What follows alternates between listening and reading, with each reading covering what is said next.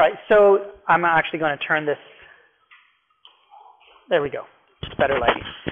So uh, today's lecture, we're, we're going to focus on, on multi-period models for asset prices, and we're going to look at how the continuous time limit for multi-period models work out. And at the end, by the end of the lecture, we'll understand uh, how to calculate the so-called Black-Scholes formula, okay, within this uh, continuous time limit setting.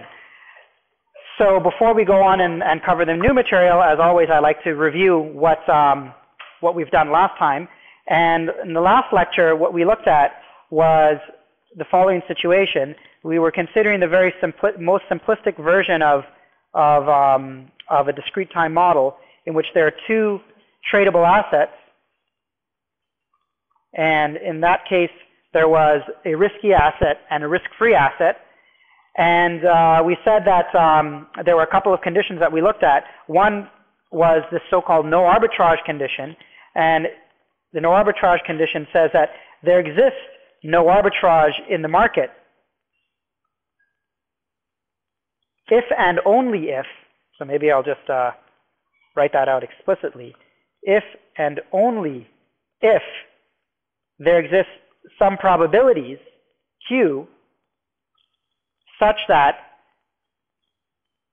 the initial value of the asset is equal to the discounted value, the discounted expected value of the asset.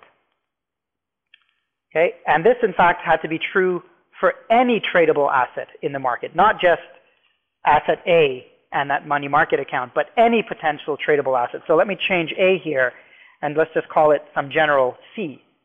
So for any for any asset, any traded asset, C. Okay. Uh, that's basically the most important result that uh, that we found. And this result came about through this idea of replication. Right? So one thing that we did before even going to replication, actually let me remind you of the other point. The other major point was without actually, um, uh, if we take this statement here and we actually choose A to be the asset C, this implies a no arbitrage condition on AU and AD and R right? We can just take this expression here and we can see that 1 is also equivalent to, the statement 1 is also equivalent to saying that the assets are ordered, the asset price that's tradable are ordered in this way. It's equivalent to that. In other words, this statement is equivalent to the so-called risk-neutral probabilities, and these things are called risk-neutral probabilities.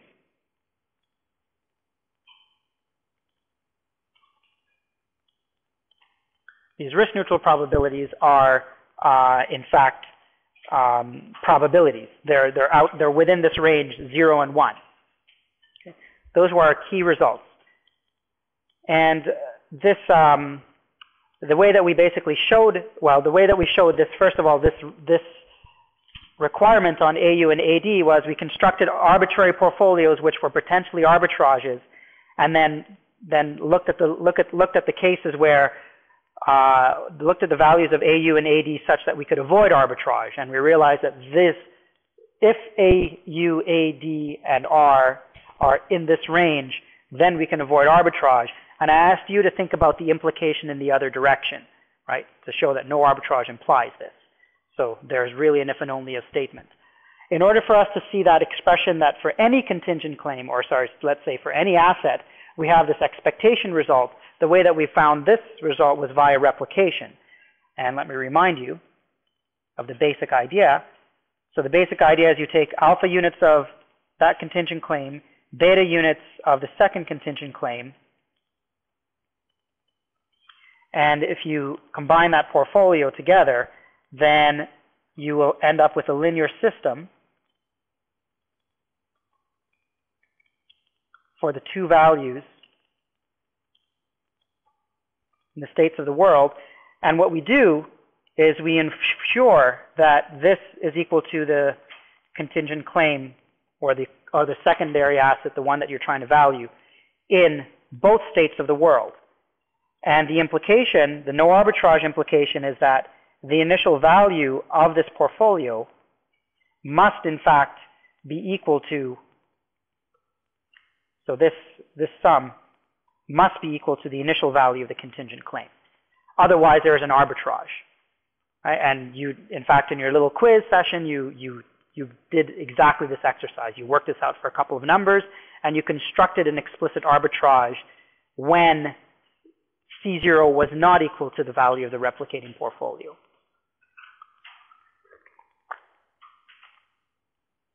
Okay, so that's um, one of the, the key things that we ended up uh, showing in the last lecture, and it's something that some of you may have seen already as well. What I'd like to do today uh, is go on to this continuous time thing, but I also wanted to revisit the example that we didn't complete at the end of last lecture. So at the end of last lecture, we were thinking about how do we apply this in a situation where it's not just two outcomes at every time step, but multiple outcomes. And I was doing one explicit example. So I'm going to do another explicit example. These are not exactly the same numbers as the end of the class, but that's okay. We'll, we'll reconstruct from the beginning. So let's take an asset here that has um, these three values. It can take on those three values in one time step. And another asset can take on these three values. So this is a risk-free one, and the first asset is a risky asset. What we'd like to do, what I'd like to show you again, is go through this whole analysis and see, ask the question first of all, does there exist an arbitrage in this market? Okay, that's the question. Is the market arbitrage free, or does there exist an arbitrage? How would I answer that here? So there are two approaches we can take, right? One is the direct approach.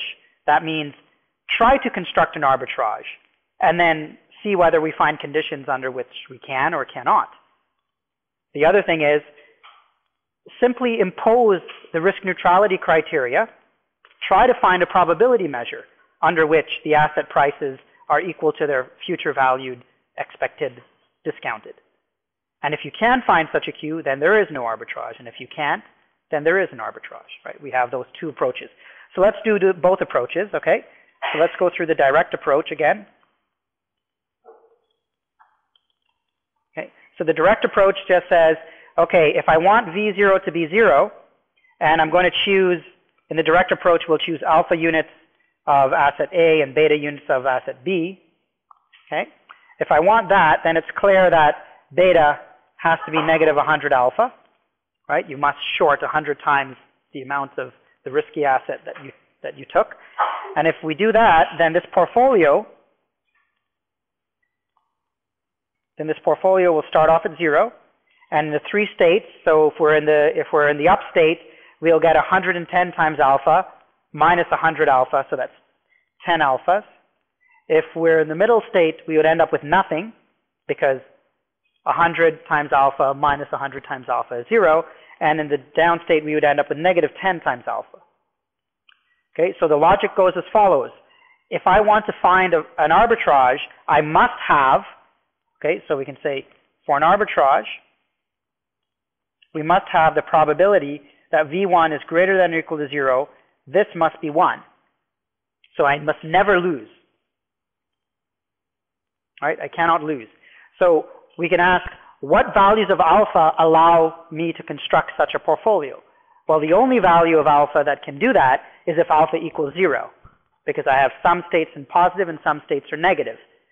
And if alpha is, if alpha is a positive number, then the up branch there is a positive number, which is fine. The middle branch is zero, which is also fine. The bottom branch would be negative, and that violates this condition. So that would not be an arbitrage. And if alpha was negative, then I'd have exactly the opposite. The top branch would be negative, the middle, which already violates this condition. So we already know that we can't have a negative alpha. We won't satisfy this. And we can't have a positive alpha. The only alpha that satisfies this is alpha equals zero. But then, but then the probability that V1 is strictly positive is also zero because you end up with zero in all states. And in order for us to be an arbitrage, we can say but an ARB also has,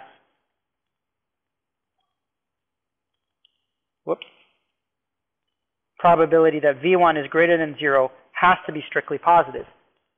So therefore, there are no arbitrages. Right? That's our direct approach here.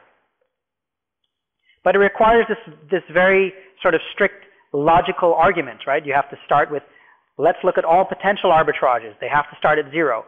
Let's make sure that we satisfy the condition one of an arbitrage. Okay, that puts a criteria on the portfolios again. It puts another restriction. So that's our second restriction. That sec those two first, those two restrictions already force enough constraints on our system that we're pinned down to one portfolio, and those and that one portfolio violates our third condition for arbitrage. Therefore, there are none. So we can therefore safely conclude for there are no arbitrages in this market.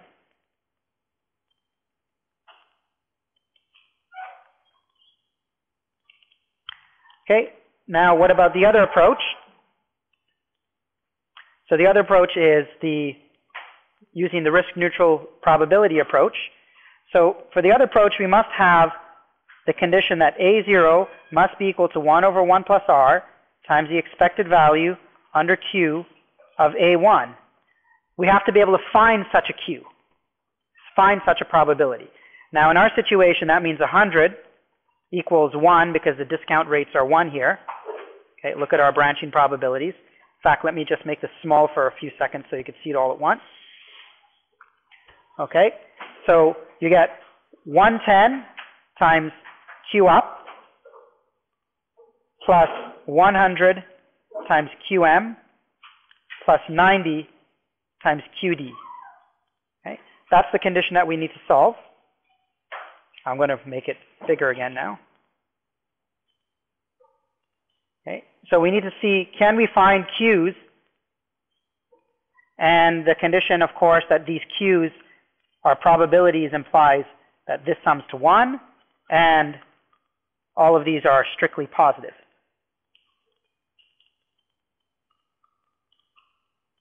Okay? That's sufficient and necessary. Alternatively, I could say each q is between 0 and 1 as well, right? And then, and that they sum to 1. But if they're all positive and they sum to 1, they have to be probabilities. So we, we're looking, we're seeking such q's. Okay, so let's just go ahead and, and plug it into our system, and we can easily see here that uh, if we put, for example, QM equals 1 minus QU minus QD, right, that satisfies my first constraint, then the 100 would cancel on both sides. You'd have 100 equals, and then you see you get 110 QU, and then you subtract 100 QU, so that's 10 QUs. This is just algebra. Right? And then the next one is negative 100 QD plus 90 QD so that's minus 10 QD. And the conclusion here is that actually QU must be QD. Okay? So let's call that little q. Okay? This is just a parameter, right? Some parameter. Okay, and then we go ahead and see if we can satisfy our constraints. Our constraints are that all the q's have to be positive. We've already satisfied that they sum to 1, right, by making the replacement of qm. So the last thing is all of them have to be positive. Well, QU being positive and QM being positive, these both imply the same constraint, that little q is positive. Now, QD being positive, on the other hand, that implies 1 minus QU minus QD is positive. But QU and QD are both equal to little q, so that's 1 minus 2 little q is positive. And that tells me that little q has to be less than a half. So we have, uh, we have two constraints that we've seen come out of this. We have this constraint here and this constraint there. But clearly, a q exists. A probability exists. As long as if q is between a half and 0, then there exists no arbitrage. Because if q is, if little q is between this range, then the actual branching probabilities, QU, QM, and QD, are in fact probabilities. They're in the range 0 to 1. They sum to 1. So a risk-neutral measure does exist. Therefore, there is no arbitrage. Okay. That's always the criteria that you seek when you use the risk-neutral approach, is you try to find risk, a risk-neutral measure, as long as you can find one. There may be many. And this example here, you see there are many. And uh, what I want to do is explore this, this idea that there are actually many possible Qs. What does that mean for the valuation of another new asset that we throw into the mix? It means something a little bit interesting.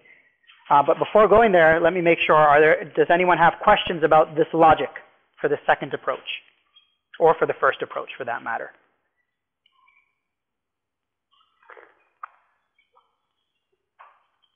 We're good? Okay. So what I'd like to do now is um, uh, I'm going to continue with this example in, in a minute. But before doing that, um, I'm going to get, let me tell you why I'm, what I'm going to do continuing this example. I want to continue this, amp, this example, and I want to see can we find the value of a claim that, say, does, I don't know, this. It pays that. 5, 6, 10. Any three numbers, doesn't really matter. How do we value it? Well, we know from the risk-neutral probability rules, we must have the value of this new claim has to satisfy that same discounted expectation result, right? Where the expectation is, is the Q expectation. So we know, in fact, let me pull this and I'm going to put it uh, down below.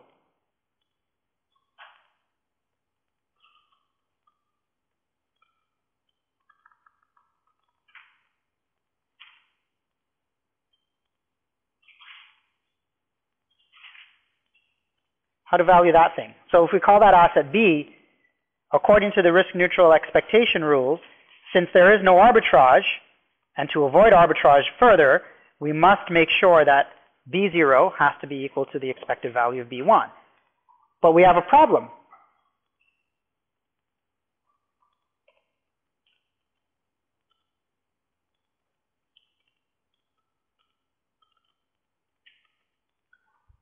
The risk neutral measure is not unique here. We have, we've, we found in, the, in, in going through this approach, approach number two, we found a whole range of risk neutral probabilities. And that's kind of interesting already from something that you may have not already seen uh, when you did this in your, in your previous course on, on um, binomial models. You may have only ever seen that assets have one price, compute discounted expectation. But here's a clear example where that is not true. And what would, you know what, uh, let's, uh, I'm going to simplify the, the payoff just to make the question really, really, let's, let's make it, let's do this. Let's do 0, 10, 0, 10, 0. Okay, just so our payoff is really nice and simple. So according to this, according to this risk neutral expectation, uh, we've seen from above that the branching probabilities have to be, uh, so there's a 1 there first of all, the, we'll get 0 times q, little q, which was our parameter. We'll get 10 times qm, but qm was 1 minus 2q. And we'll get 0 times little q again, which was our other parameter. And we see that here the answer is 10 minus 10 times 1 minus 2q. So the range of b, b actually can take on a number of values. And um, that range of values, we can see what does it range over. Well, that's a linear function of little q. 10 times 1 minus 2q is a linear function, so it takes on a max and a min. And it takes on the max and the min at the two endpoints. Right, a little q equals 0 and little q equals a half. If little q equals 0, the maximum value is what? 10, right? And what's the minimum value? 0. So that, this is a little weird at first when you first see this. It tells us that if we have a market in which there are three possible outcomes in one time step from now, and there were two assets that were traded in that market, and we avoid arbitrage, so th there is no arbitrage with just those two assets, if we throw a third asset into that mix, its price is not unique. anything in the range 0 to $10 is perfectly viable. It's a perfectly viable no arbitrage price. So all of these values, any such B0 is a viable no arbitrage price.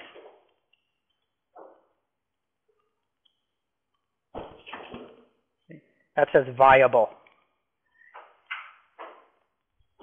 So allowed, okay?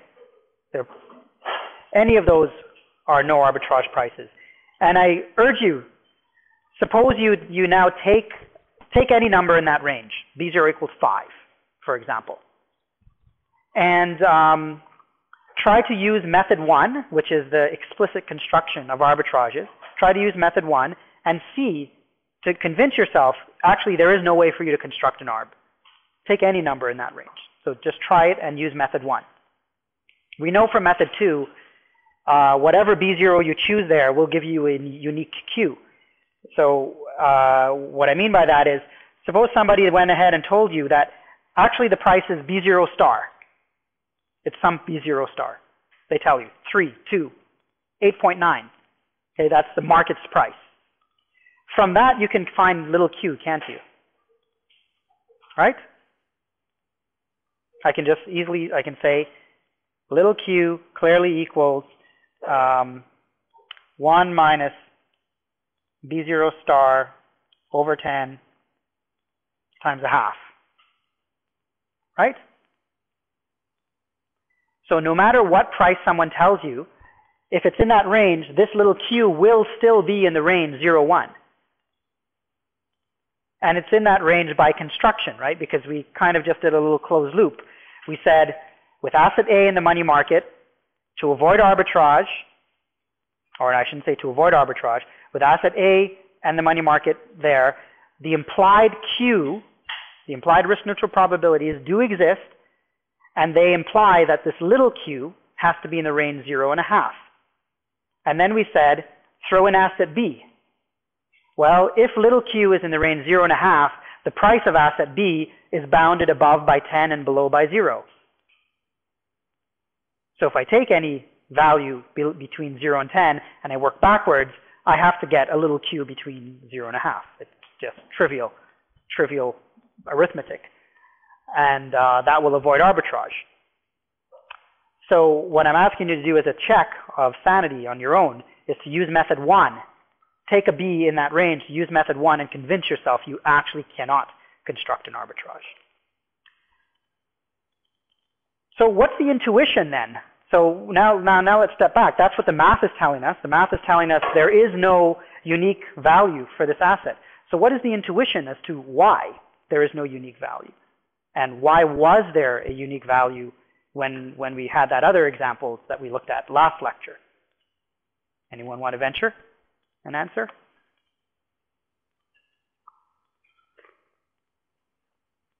There's a very good financial reason for it. Yeah. Well, it, it, I mean, the specific B that I would choose in that range would depend perhaps on my personal risk aversion level. Because now there's a choice, right? I can choose anywhere between 0 and 10. And if you look at the payoff, 0 is the minimum that you can get, and 10 is the maximum that I can get. And so it seems that, okay, well, someone who's very risk averse will charge almost not, will pay almost nothing. And if they were selling it, they would sell it for almost all. Okay, that's true. But what I'm asking is a little bit different than that. I'm not asking how would I pick one of these prices. I'm saying why does there exist many possible prices? Yeah. No, there's no bid and ask spread here. Yeah, bid, there, there are unique prices right? Uh, for, for, for the traded assets in the market, A is uniquely trading at $100 and the money market is uniquely trading at $1, right? Those are unique prices. What I've done is I've also put in another thing. This is a unique set of potential outcomes, 0, 10, 0. But why? Okay, there's another.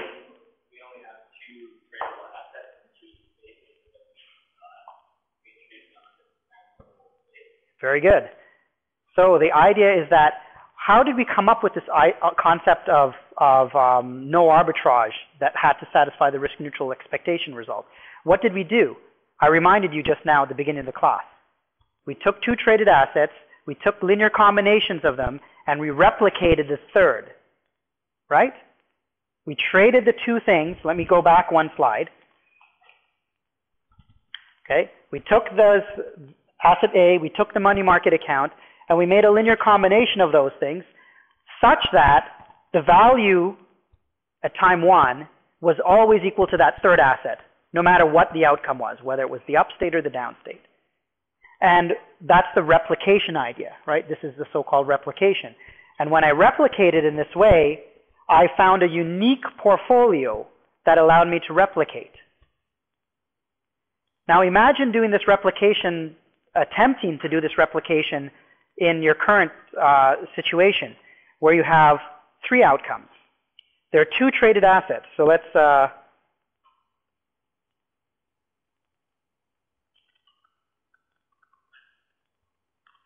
let's say try replication, okay? So we've got 100, 100, 110, 90, alpha, 1, 1, 1, 1. This is beta. And we can see that if we combine these two things uh, together, you get 110 alpha plus beta, 100 alpha plus beta, 90 alpha plus beta. And if we're attempting to do replication, we will want this to be equal to, say, B in the up state, B in the middle state, and B in the down state, right? That's what we like. But there are only two degrees of freedom, alpha and beta. So this linear system is overdetermined, right? Or, yeah, we have two unknowns, three equations. We may be able to satisfy, in fact, you can satisfy, take any two of the ones, take any two of these equalities, take any two, and you would find a unique alpha and beta. But then the third one, you will not. There will be no unique alpha beta. Or sorry, I shouldn't say there will be no, you will violate the third equation. So if I took equation one and equation two, the first, the up and the middle, if I solve for alpha beta there, I would, I would definitely get BU and BM, but then I will not get BD. So you cannot use replication arguments to, act, to construct the value. And because there is no replication to construct the value of that extra claim, it, what it means is that that extra claim is actually like a really fundamentally new asset. Unlike when there are only two outcomes, the extra claim, the extra asset that you throw into the mix, it's not fundamentally a new asset because you can build it out of the other two. Right? In the case when there are only two outcomes, you can take a combination of those two to make that third thing. So these two assets are really the same thing as that third one, or a linear combination of these two are the same as that third asset. Third asset doesn't add value, does not increase the amount of outcomes, does not do anything for you. Now the third asset does something new. And because it's doing something new, it is allowing it, you, you have a, now a new degree of freedom to, to put uh, a price on it. Let's think about this pictorially or, or geometrically, because there's an interesting geometric interpretation as well.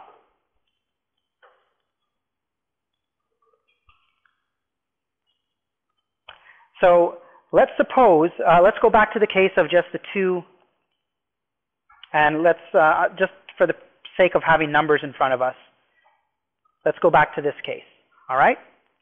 And we're trying to replicate some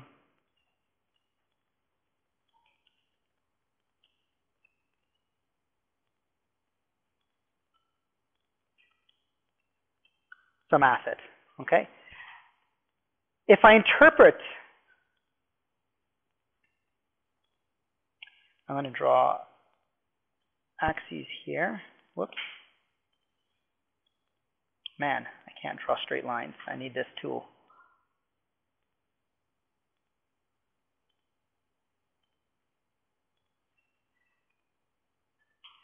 Okay, what I want to do is I'm going to interpret those two axes. What they represent are the value in the upstate and the value in the downstate.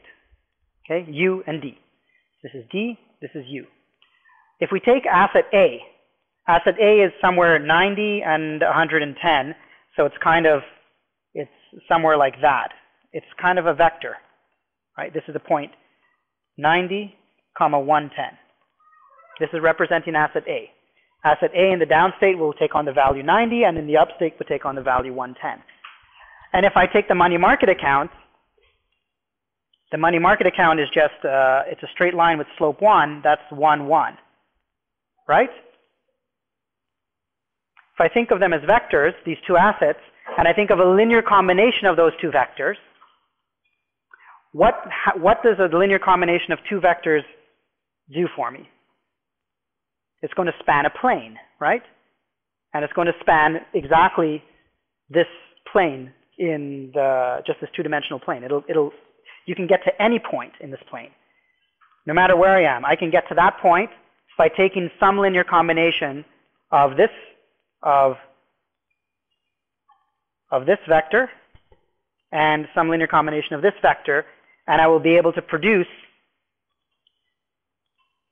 something that points to any particular place, and let's call that BUBD. Okay, that's my, that's my asset that I want to find. So in this two-dimensional case, in this case where there are two outcomes, I can get to any point on that plane by trading in those two assets, unless what? There's one situation where I won't be able to do that, even if it's two-dimensional. What if these two arrows are pointing in the same direction? They're pointing, they're collinear. Right? So if they were if they were basically pointing in the same direction with the same or or opposite directions, right? Collinear. Then I couldn't span anywhere. Then I would just be able to go along a line. But if they're not collinear, then I can get to any point that I want. What's the interpretation in terms of this three asset or three outcome situation? Well, now I have, um, now we've got, instead of instead of a point in 2D space, we're going to have to describe what happens in the upstate, what happens in the downstate, and what happens in the middle state.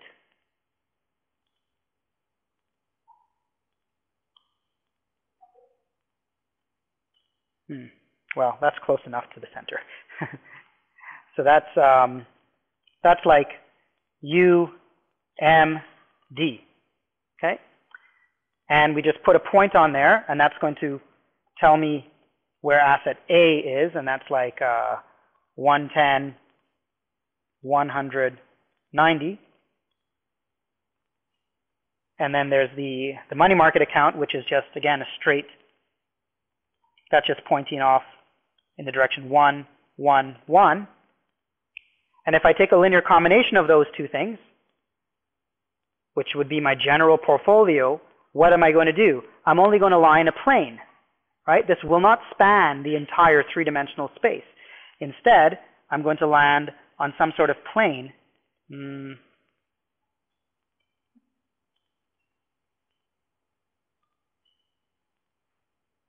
Something like that, right? If I take a linear combination of those two vectors, I will be in some sort of tilted plane. That goes through the origin, but it's some sort of plane.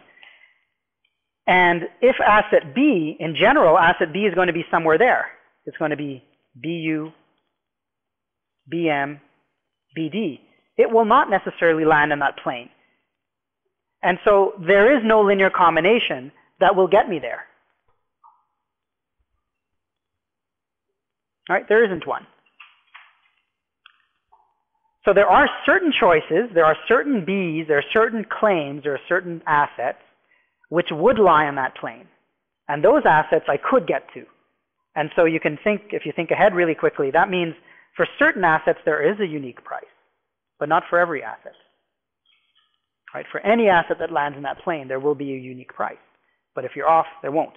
So what would, so given that there is no unique price, what do you think is a reasonable price? What's another, so we could try to incorporate risk aversion and go through the similar kind of analysis of this indifference valuation stuff that we did in the first class, but now with three assets in the mix. And I said it's a little bit It's possible to do it. It's just a little bit annoying and long, detailed algebra. But if we think about intuitively, and particularly this picture in front of you, is there some point, is there some way that you could think graphically of getting a unique price that makes sense for the general asset?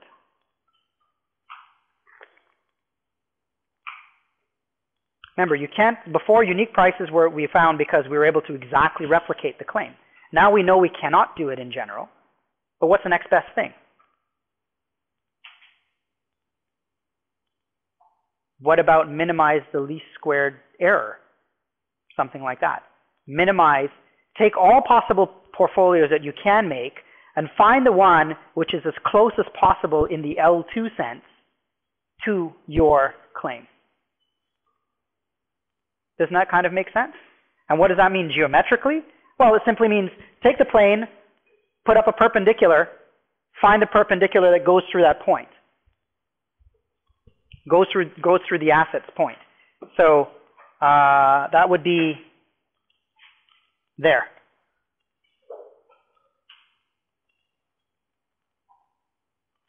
Right, that's a, whoops. That's a, ugh, damn it trying to draw a nine, you know, that little perpendicular sign that you usually do when you see a triangle, and it's a 90 degree triangle. Is that picture reasonably clear to you guys?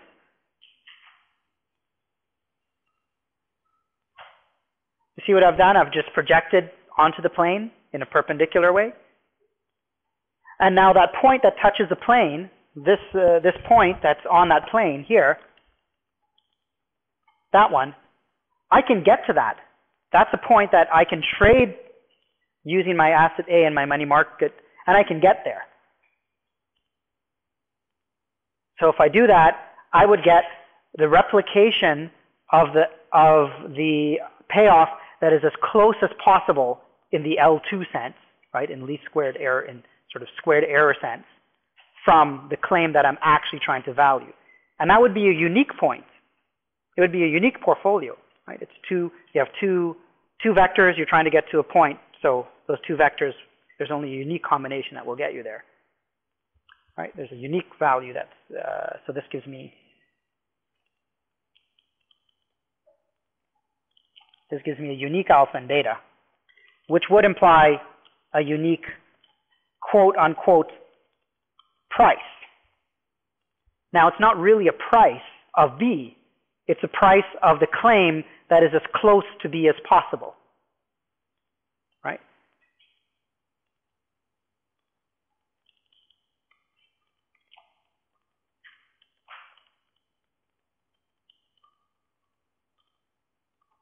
Or price of asset.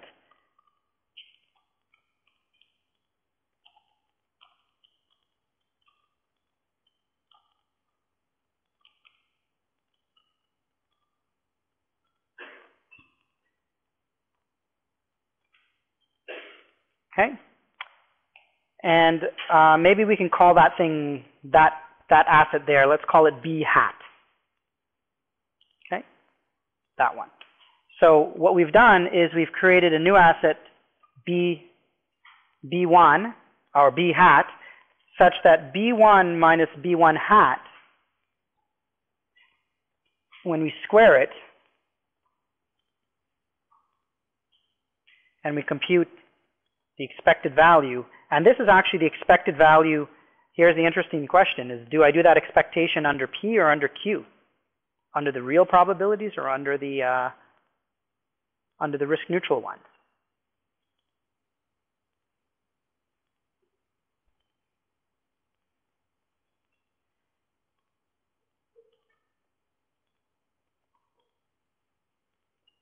Right? So um, the question's still open. No one's given me an answer yet. P or Q? How many people think it, we should use the P measure there? The real world probability measure. Just a couple? Okay. How many think we should use the risk neutral probability measure there? More than a couple. Okay. So the most of you are wrong. The P measure is the correct thing. Because why? Why is it the correct thing? Because you're trying to minimize the error in your replication.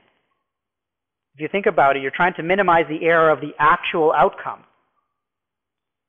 You're not trying to minimize the error of the fictitious outcome. Qs are not real probabilities. They do not actually happen. They are simply there to tell you whether arbitrage is in the market or arbitrage is not in the market. And it so happens that asset price is given by an expectation in terms of those Qs. But that Q itself does not tell me the probability of the real outcome. The real probabilities are the P's. So you should be minimizing the expectation under the real world probability of the squared error. And then you find such a B1. Okay? You find that. And then you price this thing.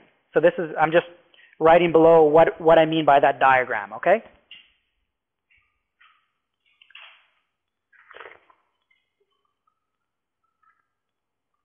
So this perpendicular thing is its orthogonality, but not orthogonality in Euclidean space, right? Because they're not equal probabilities. It's orthogonality that are perturbed by your probabilities. Yeah.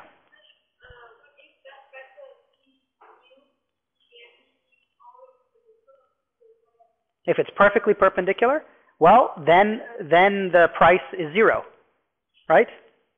That's the closest point. If I if I have a plane, okay, take rotate into the into the frame of the plane, so the plane is flat.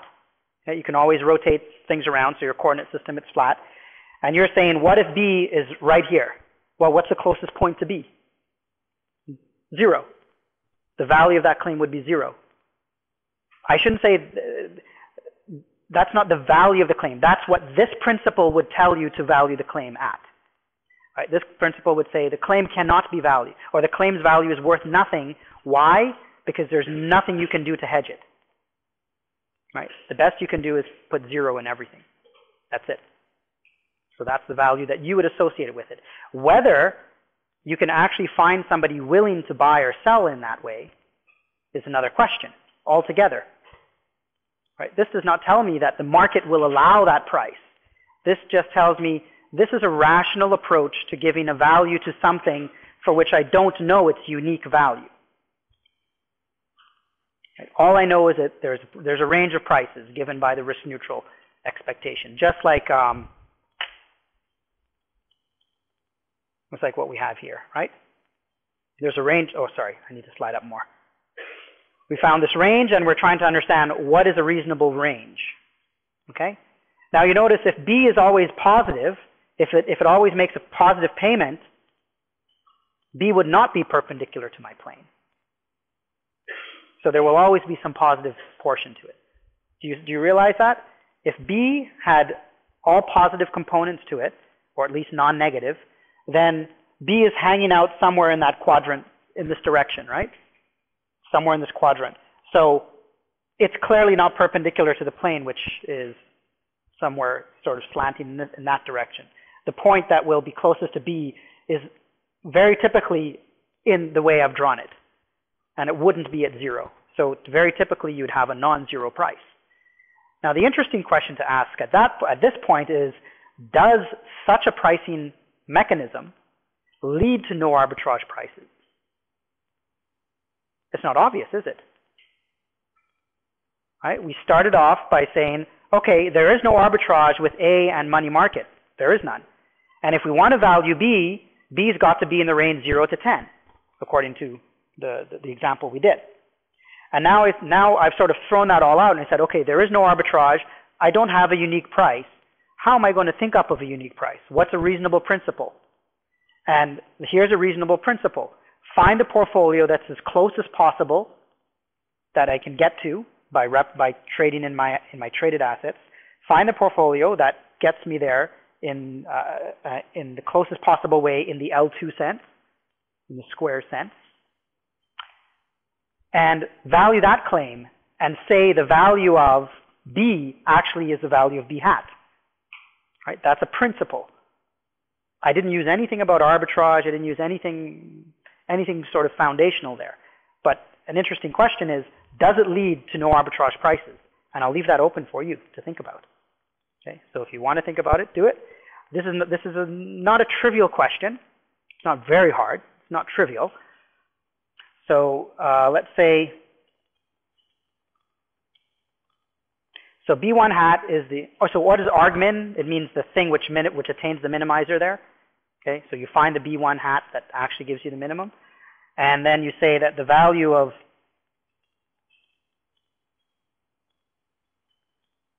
value of B is equal to the value of B1 hat, which is 1 over 1 plus R, expected value, or sorry, not 1 over 1 plus R. It would be the alpha times A0 plus beta, okay, which replicated it.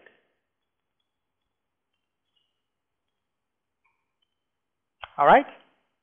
So then the question is, is this arbitrage free?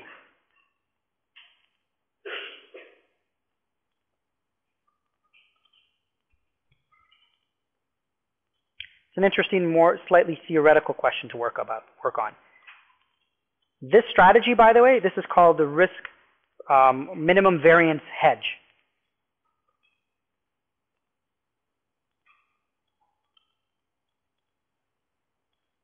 Such um,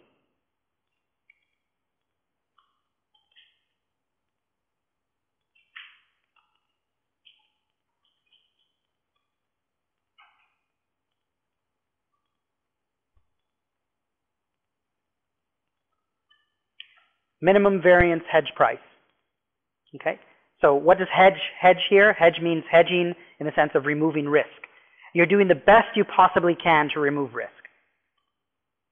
Right? Because you found the B1 that minimizes this error as much as possible. Now remember again, these B1 this B1 these hats are only those portfolios which you can get to by trading an asset A in the money market. Okay, that's they're they're only those ones. They're not any arbitrary ones. They're only the ones that. Um, so if you like, you can think of this as alpha A1 plus beta. In fact, right?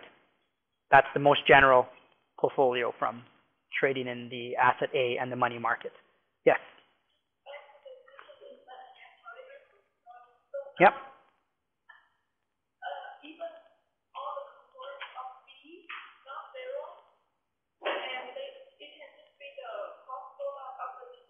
Yeah, but some will be negative.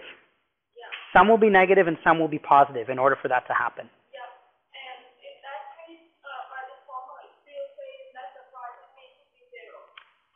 Yeah. So, but that's because if some, so if all of them are negative, you won't have this situation either.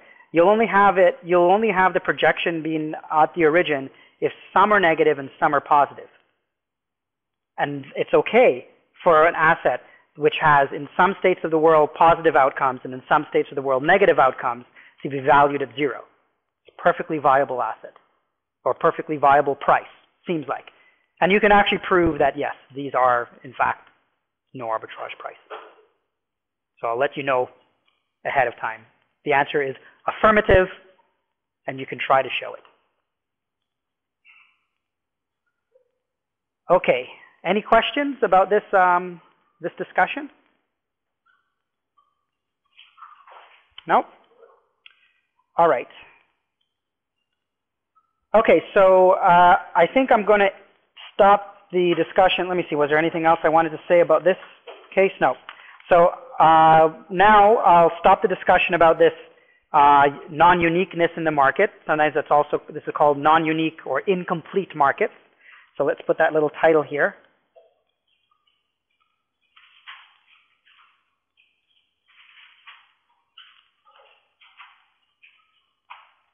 Okay? So it's incomplete because what does incomplete mean here? Incomplete just means that when you throw the new asset into the mix, you cannot replicate it from the other two. Okay? You can't. So that's what it means to be incomplete. When there are more outcomes than there are traded assets. That's what it means in the discrete setting.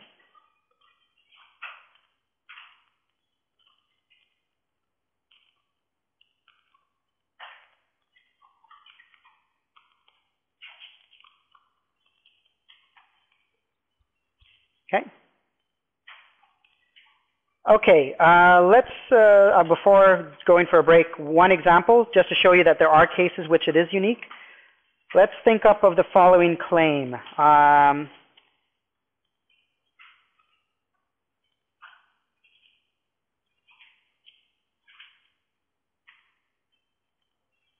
okay, I just had to do the quick calculation in my head.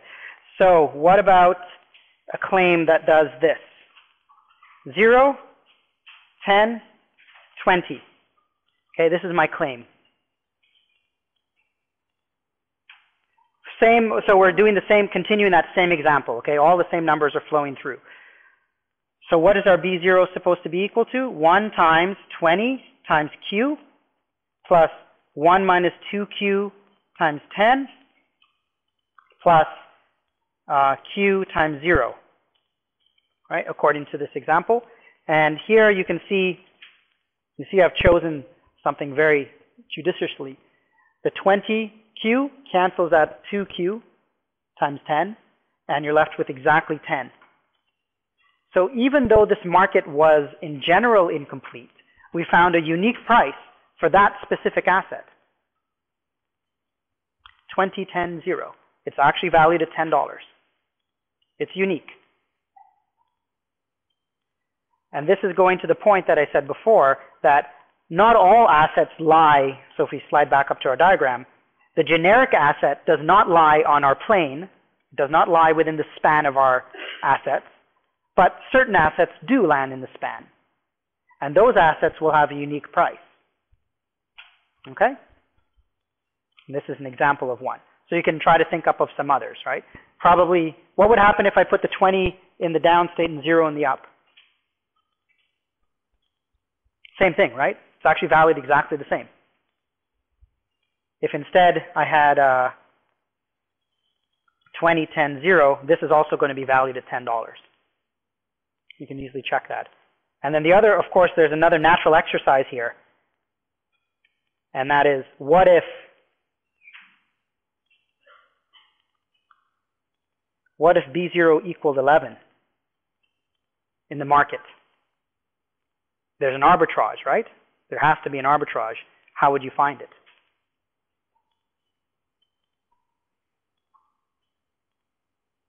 So you can think about that as, an, as, an, as a good exercise. Find the arb.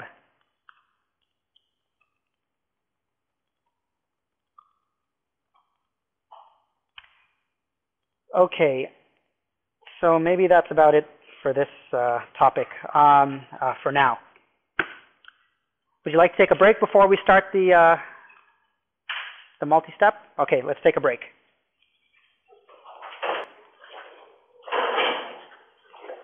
All right, so we're going to start something new now.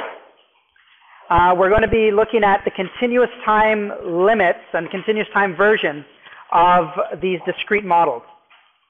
And we're going to do this in the most simplest setting, back to the two, back to the situation where there are only two outcomes at every step.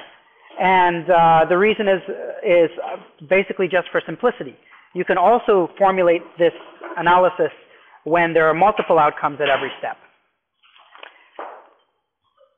So, so far, what we've been doing when we talk about uh, these traded assets is I've been telling you effectively what is AU and what is AD and what is R and also the initial price A0, either value through indifference or I just give it to you, right? We've been saying, here's a picture, I've given you these numbers, go ahead, value a third claim. But if we want to think about having this model say something about the way that assets are actually behaving, we have to go and figure out what are reasonable, what are reasonable models for AU and for AD itself. How should we, how should we write those down in order to replicate behaviors that we actually observe? And in order for us to understand that, we need to talk about a multi-period setting. And um, before going to the multi-period setting and taking its continuous limit, I just want to say something about two steps how would we use what we've developed so far in two steps for valuation?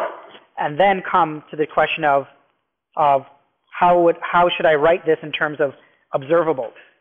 Okay? How to write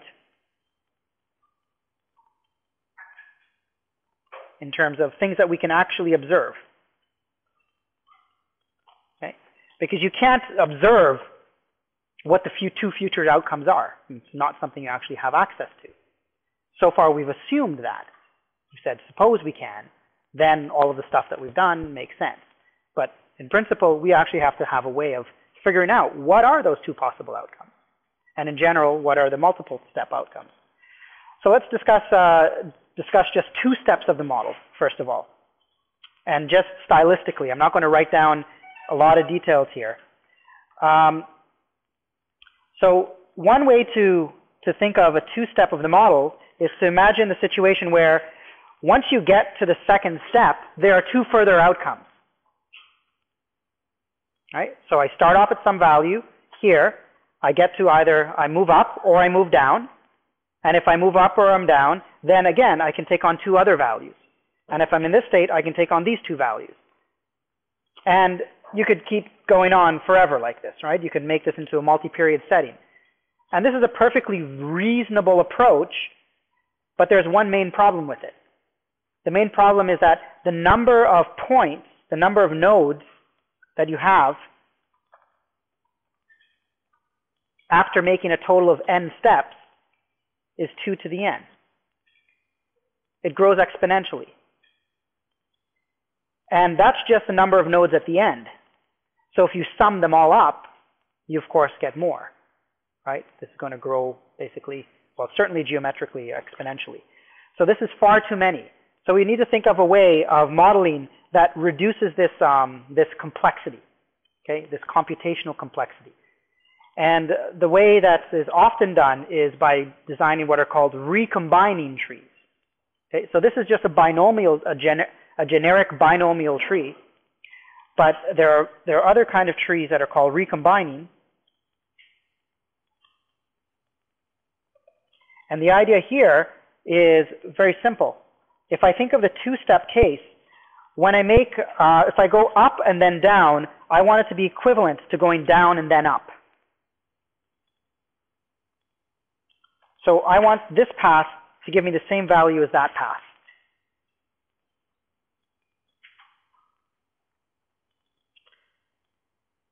So if I wrote down the values for, say, a single asset, we would have had AU, A0 going to AU, and then here it would have been AUU, and in this node it would have been AU and then D, and here it would have been AD and then U, and here ADD. So when we recombine, we make those two things equal. That's what implies recombination. And the advantage of recombining is if you imagine going out to multiple steps here, it's purely a computational one, actually. But you can imagine if I go out to multiple steps,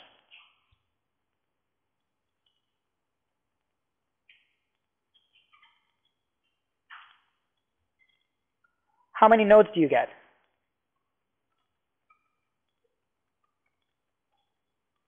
You always just add one more, right? It grows linearly. Okay, so here you've got two, here you've got three, one, two, three, four, here you've got four nodes, and if you sum them up, it'll grow quadratically. Okay, so this is little o n squared, or big O n squared. It's of order n squared. Something like n times n minus 1 over 2, or something like that. While here, this is of order exponential, clearly of very different nature. So there's a huge advantage to doing this. Okay, make sense? Why we're going to use recombining? Okay, so now let's now let's go forward and say, okay, let's suppose we use a recombining tree to model two assets, and we ask the same set of questions that we asked in our last lecture. We asked about does the model have no arbitrage? Um, what are those conditions? If we take those conditions and then we add and we assume there's no arbitrage, we throw in a third asset, how do we value that? Okay, so we'll readdress all of those questions very, very quickly because it's actually extremely simple. Once we've understood the, um, the one period case. Okay, so here's our asset A.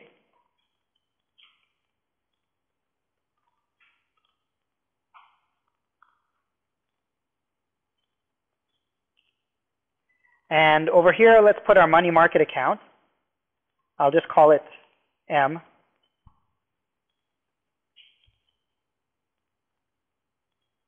And notice I've only put a subscript on it. It's the same, oh, that should be 2. m sub 2, m sub 2. Okay, so these are equal to 1 plus r, 1 plus r all squared. All right, just grows at the risk-free rate. Okay, just for simplicity. And let's say I give you this, these values. I gave you some numbers there. How would you decide whether this system admits an arbitrage or not? What would you do?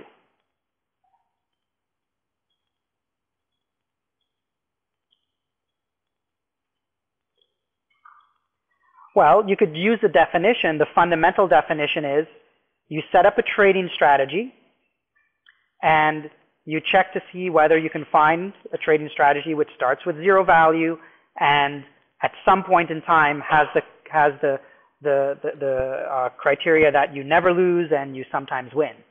Right? Those those are the three things. But now you have to rebalance the portfolio. Right? So if I started, if I originally started with some position in al alpha, let's call it um, alpha zero. Uh, I'm going to darn it. I'll draw it on a separate tree here. Alpha 0, beta 0. This represents my portfolio. Positions in, in, in asset A and the position in the money market account. Once I get to the next time step, I'm allowed to change that in principle. I don't have to have the same alpha and beta anymore. I can change it because I'm allowed to trade.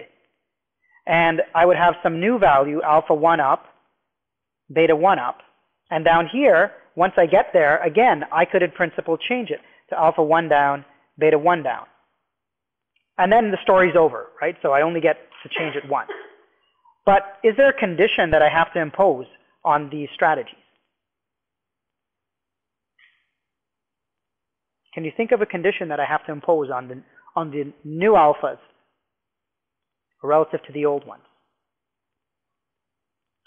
Well, think about it financially for a second. You put $10 in one asset, $5 in another asset. You've waited one period in time, and you're now going to change it. You're now going to change the number of units. So let's re restate it. I put $10 worth of my money in one asset, and that may have cost me one unit of asset. I put two units, uh, I, and I bought two units of the other asset, so one, two. That's my portfolio. I hold that to the next period. I'm sitting here now. I now know whether the asset went up or it went down. I'm now going to change my portfolio from one asset, uh, one unit of asset one and two units of asset two to something else. What constraints do I have? Yeah. Yeah. Right. Remember this concept that I mentioned briefly last time about self-financing. I have to be able to use, I, I can only buy and sell whatever I get from the strategy. So one unit of asset one and two units of asset two are currently worth some amount of money, currently worth a fixed amount. And all I can do is buy assets worth that fixed amount. That's self-financing. So let's write that down in equations. I must have that um, once I go from so if I bought this many originally, how much is that worth at this point in time? It's worth alpha 0, A1, whatever A1 happens to be, plus beta 0, M1, whatever M1 happens to be. And here M1 is always 1 plus R. Okay, that's how much money this, this system is now worth. And after rebalancing, I have to ensure that I hold this same amount of money. Okay? So if I'm in this if I'm in this state of the world, I have to make sure that alpha 1 times u, a u, the new value of my asset. Oh, sorry. Yeah, that's right. Yeah. Alpha 1, so this is my new amount of alpha 1, of, of a, plus beta 1u of m1, that has to be equal to this amount of money in the upstate. So that has to be alpha 0 au plus beta 0. And if you want, you could put this as mu here. It doesn't really matter. Right? The money market account is the same in mu and md. Does that make sense to you? This equation? This is self-financing. I have this amount of money in my hand available because I had alpha zero units of the asset. It's now worth this. I had beta zero units of the money market account. It's now worth that. And in the upstate, that's the bottom line. And I rebalance now. So I have some new position, alpha 1u and beta 1u. But those are degrees of freedom that I get to choose. But I'm constrained. I can only choose it so that I self-finance, so that I don't throw money into the system or pull money out of the system. And if you're in the down state of the world, you of course have a similar, basically the same equation, right? Oh, this is would be alpha A1D. And that has to be equal to, again, MD.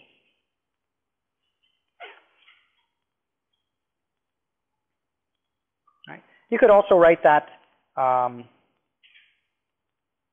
can also write that same system in general here. Alpha 1 times A1 plus beta 1 times M1 has to be equal to alpha 0 A1 plus beta 0 M1. Both of those equations can be encapsulated like this. My new position times the new asset value plus my new position times the new asset value must be equal to the old position times the new asset value plus the old position times the new asset value.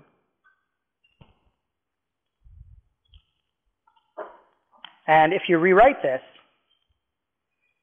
you can see that you can write it like this.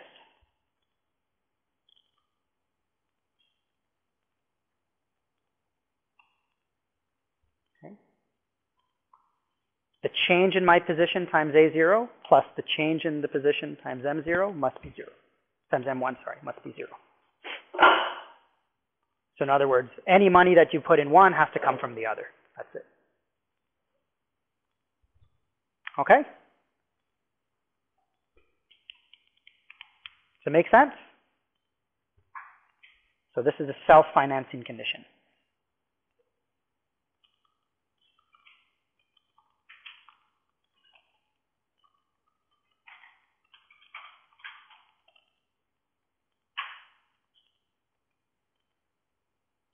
Okay, so if we were asking again, going back to that question that I originally asked, can I find arbitrages? Well, it will be a little bit difficult in this setting, right? Because I've got to find, I've got to check, uh, put in a portfolio at time zero that has zero value, go one time step, make sure I'm satisfied the self-financing condition, try to find a, note, a portfolio again, which now has the conditions that I never lose and I sometimes win. That's what I need to do. But is there another approach that you could take that may be able to avoid this? Well, today's class, we talked about two approaches for just the one period case.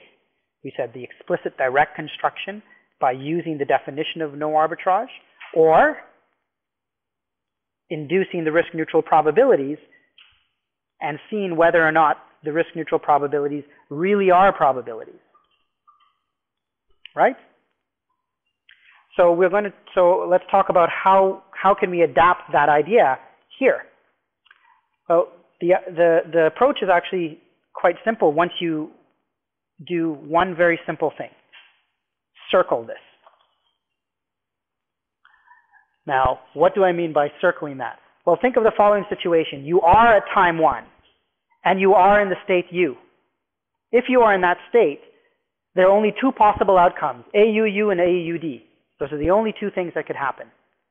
And m could either, and m grows to 1 plus r squared. Okay, and m just multiplies as it always does.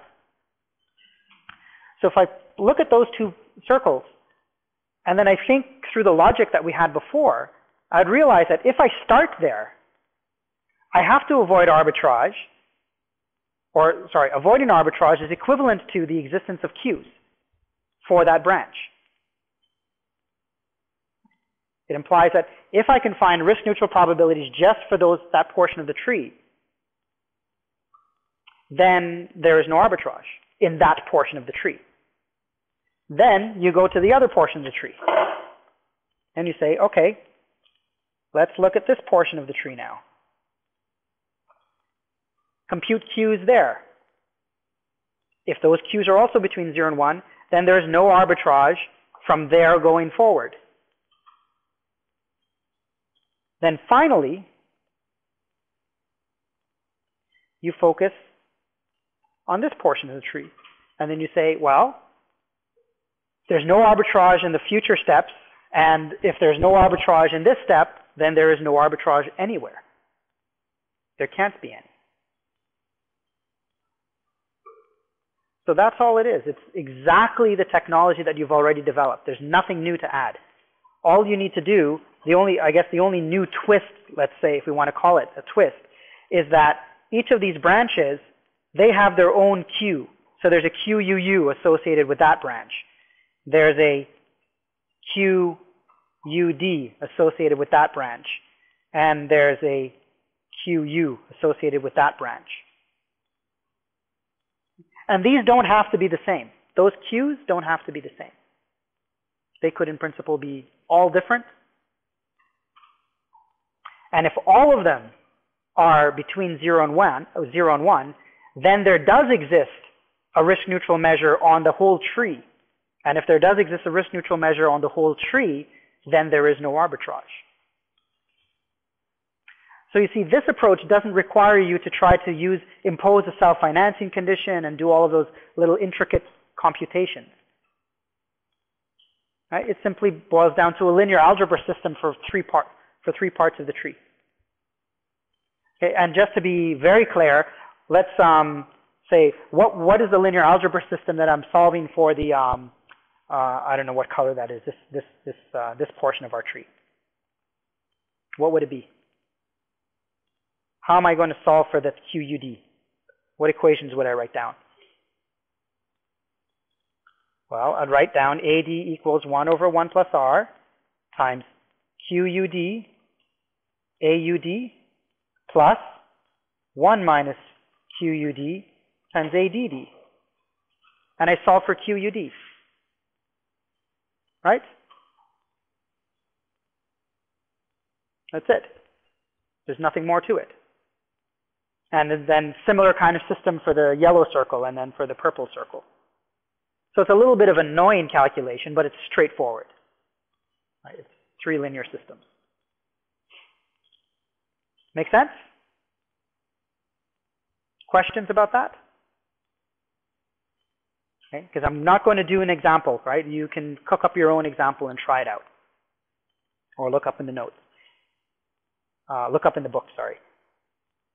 Okay, so now, so at this point we can answer, so let me write down a statement here, by the way. So if, um, I'm going to put that in brackets because that's sort of not the approach we're going to take. We're going to say this is the direct approach that's in the brackets. Instead, talking about the Q approaches.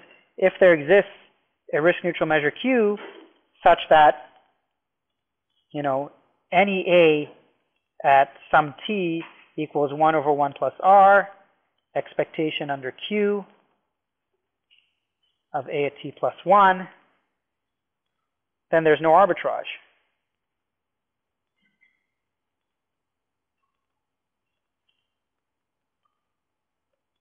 Right? And in particular, this is this is really an if and only if statement, right? So we can modify this. We can say there exists a Q such that that if and only if there is no arbitrage.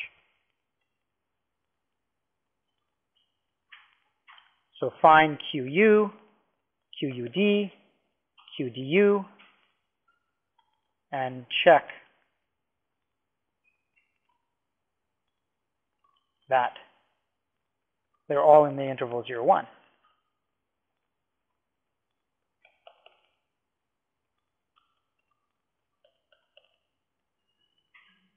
Okay? And that will be, then, then there won't be arbitrage if that's true. The algorithm clear? And it just follows from what we did last time? Okay, so now uh, let's answer the next question that we usually asked, or that we have asked in the past. Suppose we've done that exercise and we've found there is no arbitrage. Okay? And you could guess what the no arbitrage conditions are going to be, right? right off the bat from here. You know, remember that ordering of the assets? AD is smaller than 1 plus R, A0 is smaller than AU. Well, basically that has to hold for these three different nodes. That's basically it. Nothing more. So the next question that we usually asked were, was, uh, throw in a third asset into this mix, put in an asset B. How are we going to value the asset B? And what information are we given? So let's draw that. So I'm going to repeat the diagram I have up there. And this time I'm not going to put the values in the nodes. I'm just going to draw it like this.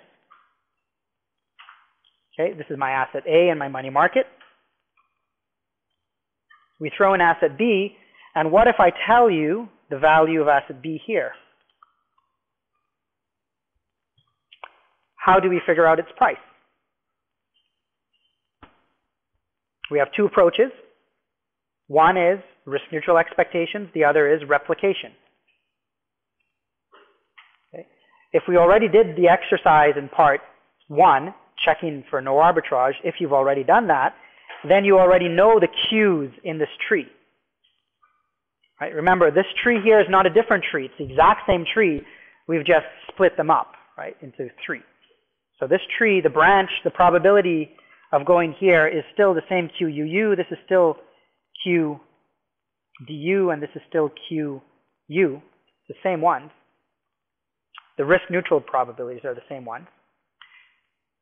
So what we can do is the same kind of exercise. I can focus in on this part of the tree, and I can use the Q risk neutral probability, and I can find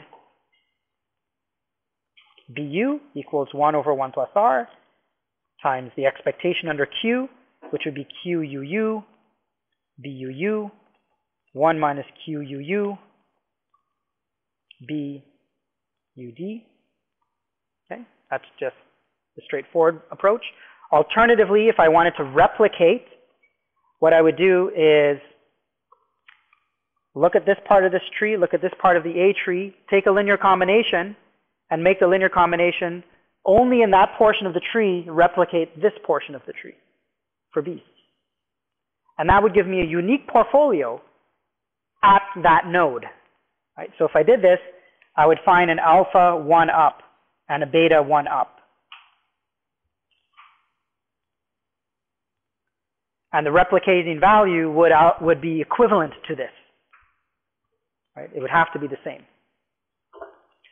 And then uh, the other, then you can just repeat the exercise, right? Go to this node, there and there. And at that point, you would have computed the value of B. Um, you would have found, sorry, you would have found BU, and you would have found BD, right, by doing this procedure, either the replication or using the discounted risk neutral expectations.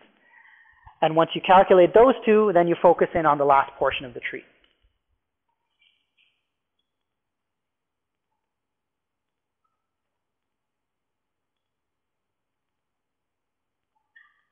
So those three circles. And again, the system is identical. So you've reduced this whole problem of computing multiple time steps into a whole sequence of little binomial models. Right? That's all they are. They're just a sequence of little binomial models. And if you did this, you know, how many millions of times, you had some gigantic tree.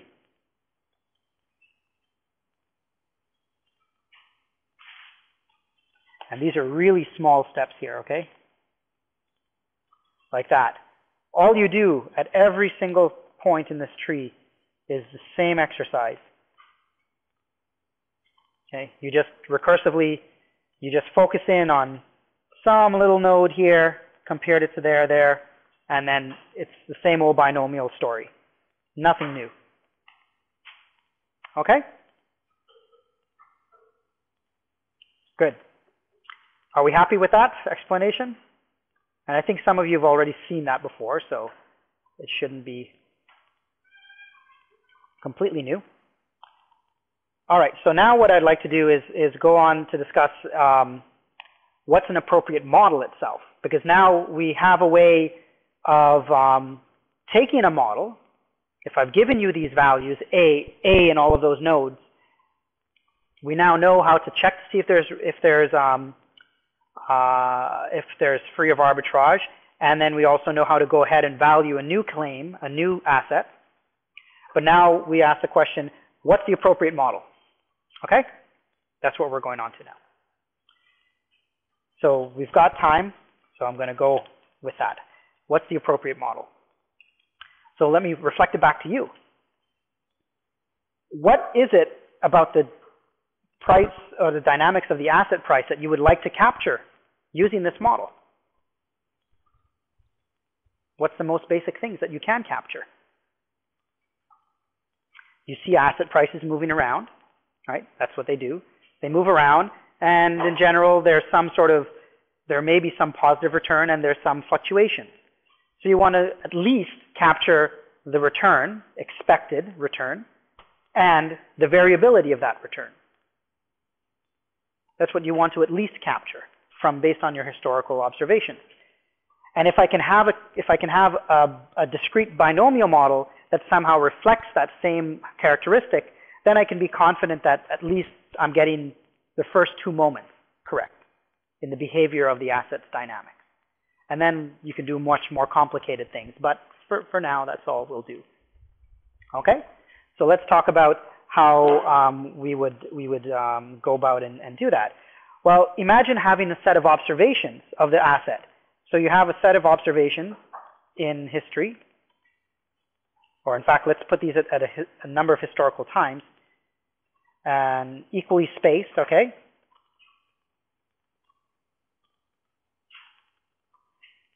T2, dot, dot, dot.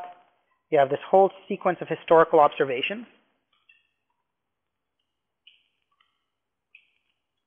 These are observed. And what we'd like to do is at least compute the return of this historical observation.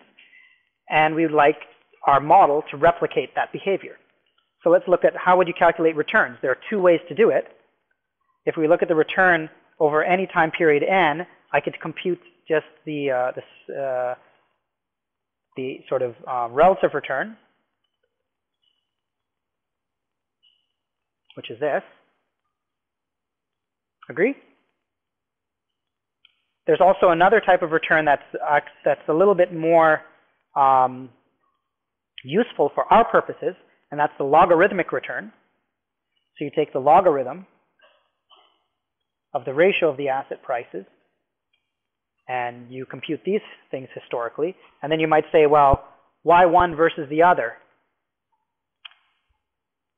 And my one answer to you would be, well, actually, they're not that different. It looks like they're completely different, but they're not that different. Here's why. Subtract 1, add 1. Okay, sorry, let me um, not do it directly in there. Let's do it here. So we've got this ratio. Call that ratio alpha. Okay? Subtract 1 from alpha. Add 1. That's a log of 1 plus, or 1 minus, 1 minus alpha.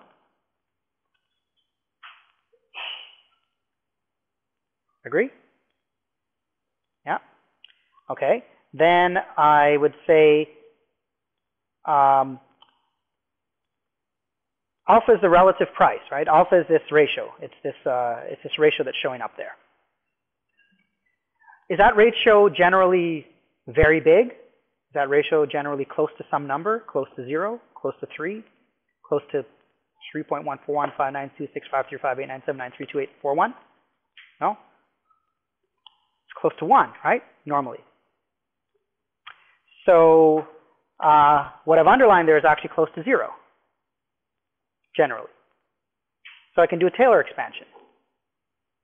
I have log of 1 plus something small. Well, 1 minus something small. And what is that approximately?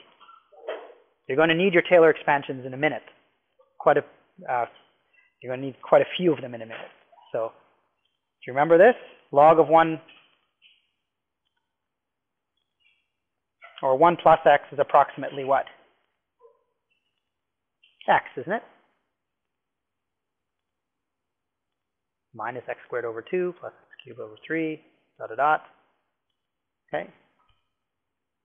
So this is approximately min alpha minus 1. 1 plus x is approximately x. You have 1 minus x, so just flip the sign. I guess I could have kept this as plus alpha minus 1, and you get alpha minus 1. Plus dot dot dot. Higher order stuff. And what is alpha minus 1? Well, that's a tn over a tn minus 1 minus 1.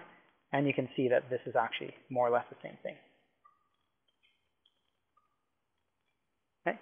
So this logarithmic return is approximately the same as this relative return. But there is an advantage to working with the logarithmic return.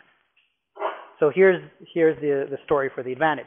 Suppose I told you that we were going to assume that these returns are normally distributed. First order approximation, right? We're thinking of perhaps central limit theorem type thoughts going through our mind. The returns should be independent of one another.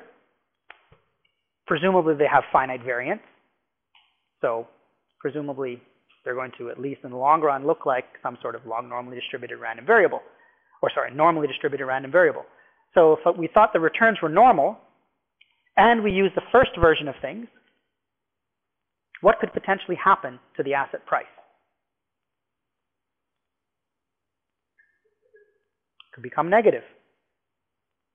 So if we use the first version of things, assuming R is normal is not actually going to be accurate and could lead to theoretical problems. If I assume that the second type of return is normal, now I'm perfectly fine. Because a log of something positive could be negative, for sure. If it's less than 1, it's negative. So that's the reason why we're going to deal with the logarithmic returns.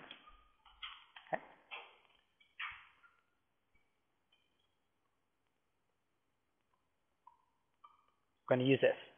Okay, so I've told the story, said that we have this historical asset prices, we compute these historical returns, and we're going to compute an estimate of its mean and its variance. So we get from the data some estimate of the mean and the variance. And how would I, so if I view these as uh, R is actually a random variable, right? And I want to compute the expected, the real world expected return, or sorry, expected value of this return. And let's say that from observations, we find that it's equal to something called mu star. Okay, that's just the observation. And how did I compute that by, from observations? What's my estimate? You're all actuaries, right? I have a random variable, I have a bunch of observations. You can compute this an estimate of its mean. Sample mean, right? Nothing miraculous here. Just compute the sample mean. Now, because of something that's going to happen later, okay, actually, sorry, I won't tell that story yet. I'll come back to it in a second. Now, what about the sample variance? Or the estimate of the variance? We can call that sigma star squared. Okay? And again, I can compute that. Well, we can we can make it the unbiased version. Let's not bother.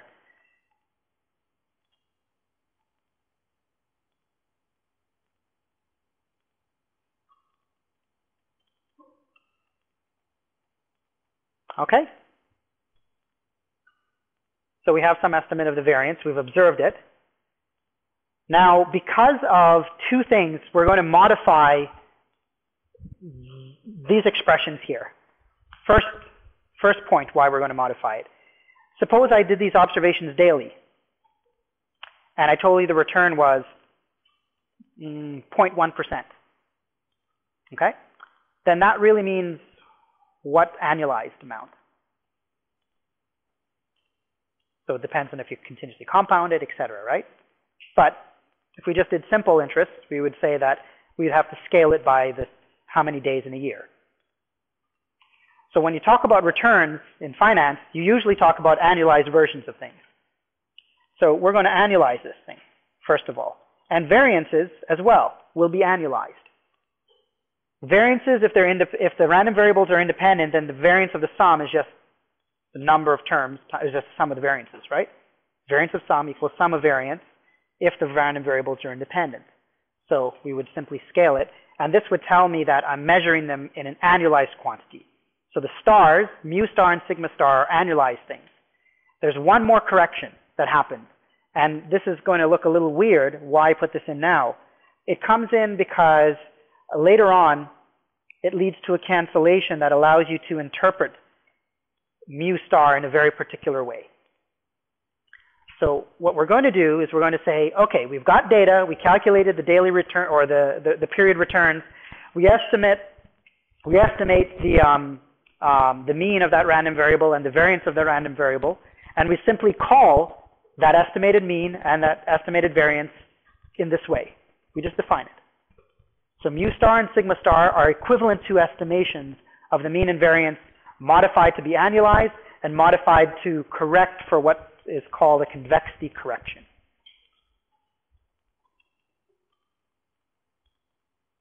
And you'll see why it comes in later on.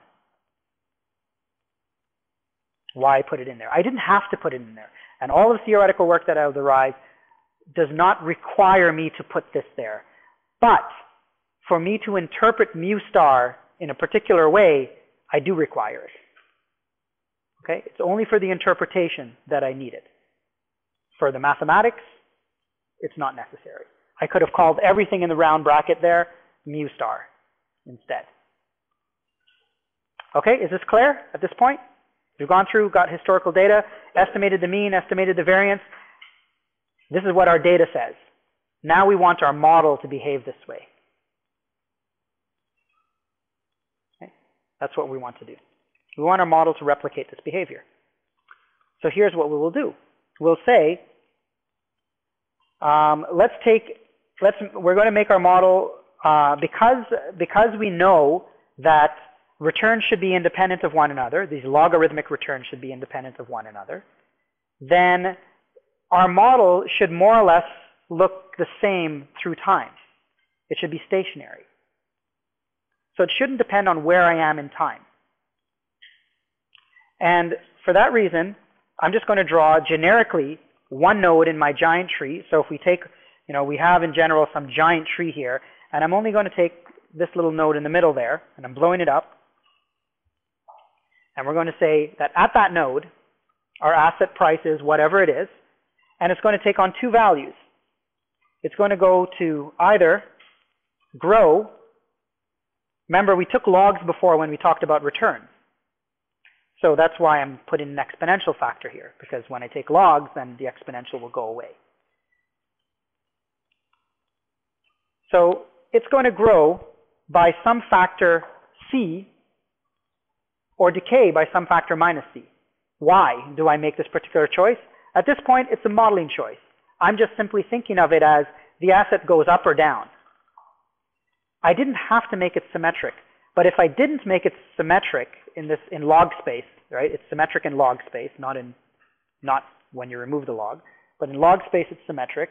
If I didn't make it symmetric in log space, I'd find I have too many degrees of freedom. We only have two things to match, mean and variance. And what's the other parameter that I have to play with here? So C is one parameter. What else? The branching probabilities. P, the actual probability of the outcome. I have two parameters, P and C, and I've got two things, two observables that I need to match, mean and variance. So that's enough. I can't throw in a third. I can't put e to the c and e to the minus d. I'll have overspecification. I mean, I could, but then I'd have overspecification. And I'd have to use some other thing to decide on what should d be. Okay? So I'm trying to give you a rationale as to why this form. Make sense? Okay, so what we're going to do now is we're simply going to find what is the appropriate P and what is the appropriate C, which allows my model to behave like the data. Okay, that's the goal. Because now we'll have a sound way of, of stating how an asset should be modeled as opposed to before where I simply said the asset for sure has these two values in one time step. Now I'm saying go to the data, estimate these things, build a model that behaves like the data. Okay? All right, so it's actually quite simple now. Now it's just a matter of some simple algebra. Okay? from the model, let's compute the expected return. Well, what is the what is what is r actually in this case? It's log of a e to the one way that I can write rewrite this asset actually at time one. Let me um, put one more little note here. One way that I can write this asset to time one is to say that asset at time one time step or any time step n, in fact, equals its value before times e to the c times little xn. And what is little xn? All of these little x's, x1, x2, dot, dot, dot, these are IID Bernoulli random variables. Okay? But they're not standard Bernoulli. They're not 0, 1. Instead, they're plus minus 1.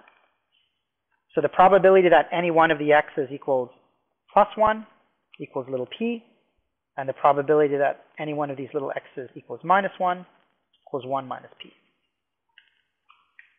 Okay?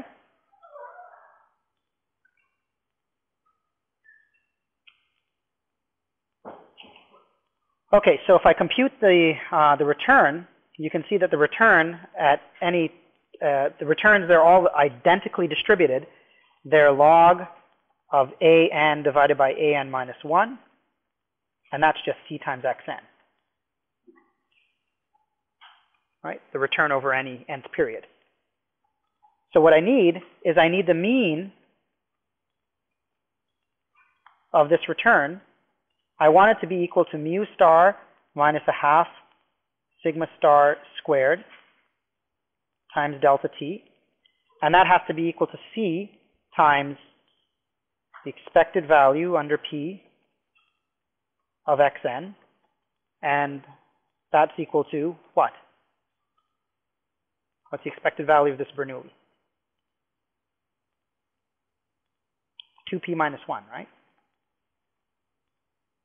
p times 1 plus negative 1 times 1 minus p. Maybe I'll do that in two steps for you. 1 times p plus minus 1 times 1 minus p. Right? X takes on those, th those are the probabilities, plus or minus 1. So just that. So that's c times 2p minus 1. So in fact, you immediately get the branching probability, the real branching probability, in terms of c, if we knew what C was and the observable. So we can just check immediately this is just 1 half 1 plus mu star minus a half sigma star squared all over C times delta T. Okay. Okay, the next thing that we had to do is match the variance. Well, from the data, this was sigma star squared delta t, whatever that is, right? We just get that from the data. And uh, we've got uh, the variance of a Bernoulli. Well, it, the variance of R is the variance of c times x. So that's c squared times the variance of x. And what's the variance of x? Well, that's the mean of x minus the square of its mean. The mean of x is 1 right? It's plus minus 1, so if you square it, it's always 1. Maybe I'll write that in two stages for you.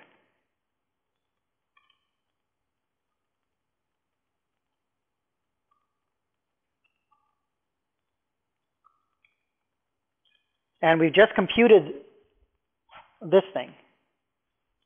It's 2p minus 1. We got 2p minus 1 all squared.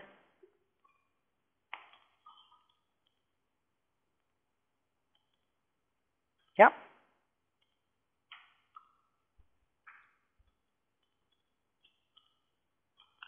Okay, and now we can just uh, replace. So from the top line there, we know that 2p minus 1 is equal to this divided by c. So we can use that to replace this 2p minus 1 squared. Okay? I just underlined it in purple. I don't know if you've seen it. Let me, let me highlight it for you. I'm going to use this equals that to replace that. So we get c squared 1, sorry, 1 minus um, mu star minus a half sigma star squared. There's a squared there, there's a squared there, and there's a squared there. Okay? And therefore, so you can see the c squareds cancel in this denominator here, and all I have to do is take the sigma star delta t and add it to that.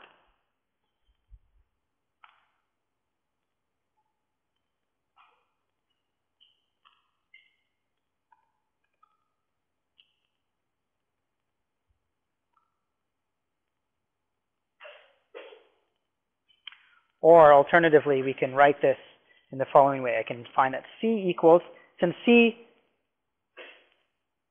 again, C could be positive or negative, so let's just take the positive root, okay? And I'm going to factor out um, sigma star delta t, and I'll get 1 plus the square root of 1 plus mu squared minus 1 half sigma star squared all over sigma star and this would be squared, and that would be delta t, and there would be a big square root on this thing. Okay, so I'm sorry, I'm going through this slightly annoying algebra just because I need to show you what the correct order of magnitude things are at. So these are our two final, these are our two equations. They're not our final ones yet. This one and this one. We've now found P and we've found C. And in principle, that's what they have to be equal to right? They have to be, so you take this expression for C and you plug it into that expression for P. But before doing that, let's just think, think, uh, think a little bit ahead. What we would like is we want to look at, we don't want to have these time steps being very large. We want them to be relatively small. So if we want them to be relatively small, we should really be only concerned with the largest contribution to P and to C. So what terms contribute the most? Well, delta t is small, so square root of 1 plus something times delta t, this is going to be a small contribution, and there's already a delta t out here. So we can, in fact, do an approximation. When delta t is small, we could say that this is just approximately sigma star delta t. Plus things that are going to go to zero faster than delta t. So this is little o delta t. Does everyone know the notation little o delta t? So let me remind you.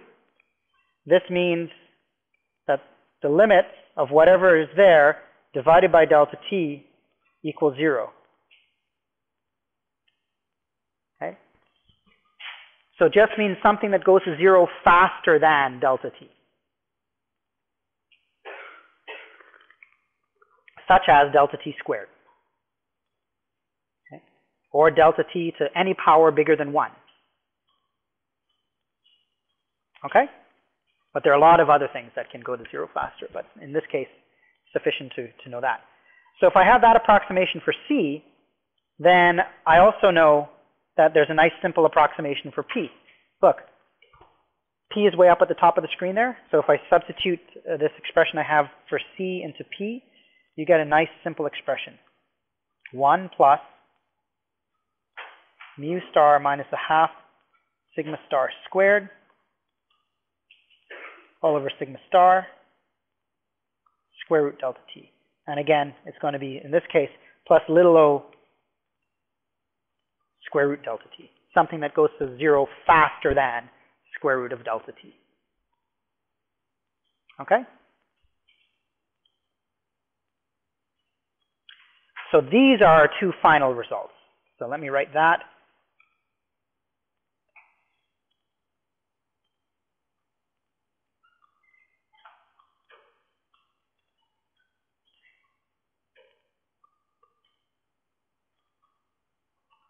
This is our key new result for today. So let's recap. Okay. If you start with the observation of the data and you compute the mean of those returns, the logged returns, to make our binomial model match that behavior, all we need to do is choose this probability and choose the asset to grow at every node like this. A goes to E to the sigma square root delta t, sigma star square root delta t times A, the minus sigma star square root delta t times A. That's the result. Then this replicates the behavior that we observe in the market. Okay, questions?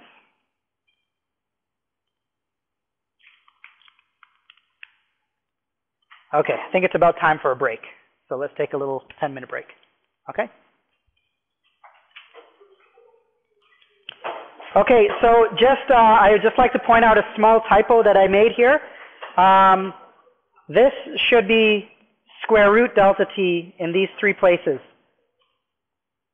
It's sort of obvious you're taking the square root of something and I missed the square root.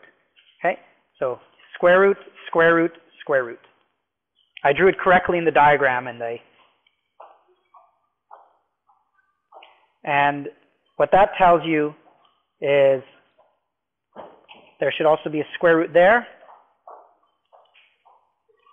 and here. There we go.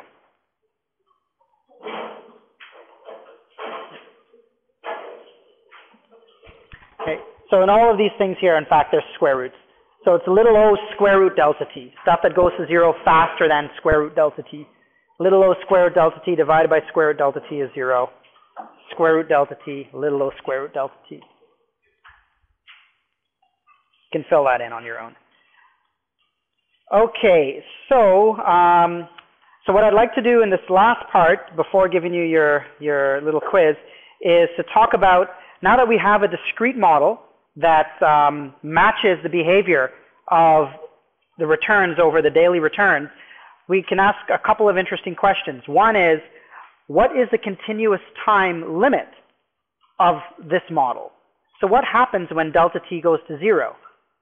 What type of distribution does the asset A have? Then the next question is, what is the behavior of asset A when we change to risk neutral probabilities? Because at this point, what we've done is we've figured out the real world evolution, and we've made the asset behave as it does in the real world. But we know when we want to do derivative valuation, we have to go ahead and calculate risk neutral probabilities. And maybe the behavior under risk neutral measure is quite different than real world. Okay, so those two questions we'll answer. And then we'll end. Uh, okay, so first of all, the continuous time limit.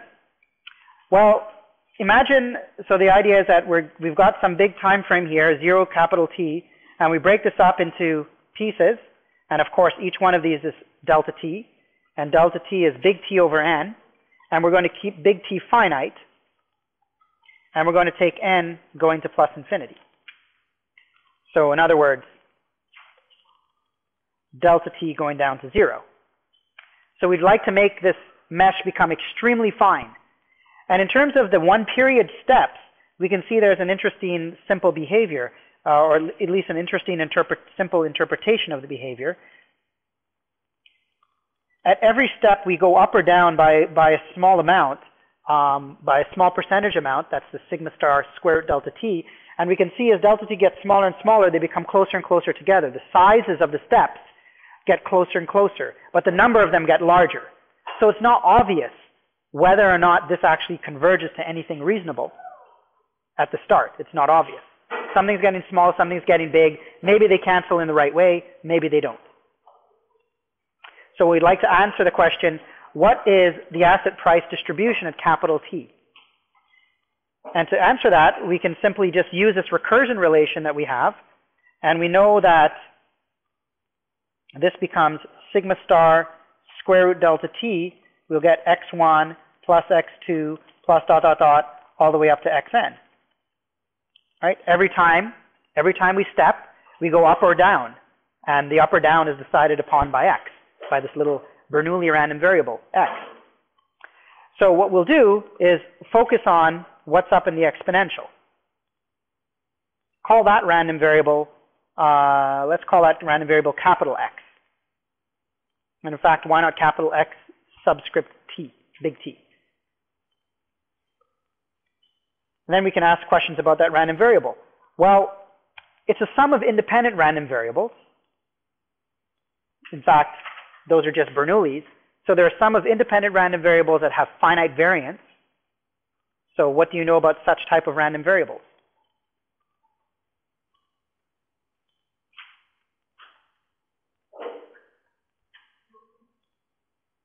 In distribution, this becomes normal with some mean and some variance, right? We don't know what. What mean and what variance. We have to figure it out. So the arrow with the D above it means in distribution, okay? Limit in distribution. And this is by CLT. So all we have to do is compute the mean and the variance of this for any finite capital N, and then take the limit as n goes to infinity. And see, do we get a finite mean? Do we get a finite variance? If we do, then things have converged. And we know what it would converge to. So the expectation under P of x capital T, well, that's pretty simple. It's sigma star delta T times n, there's equal number of them, times the expected value of any one of these.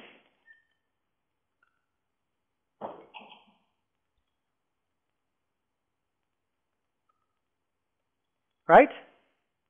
What's the expected value of any one? 2p minus 1, remember? Do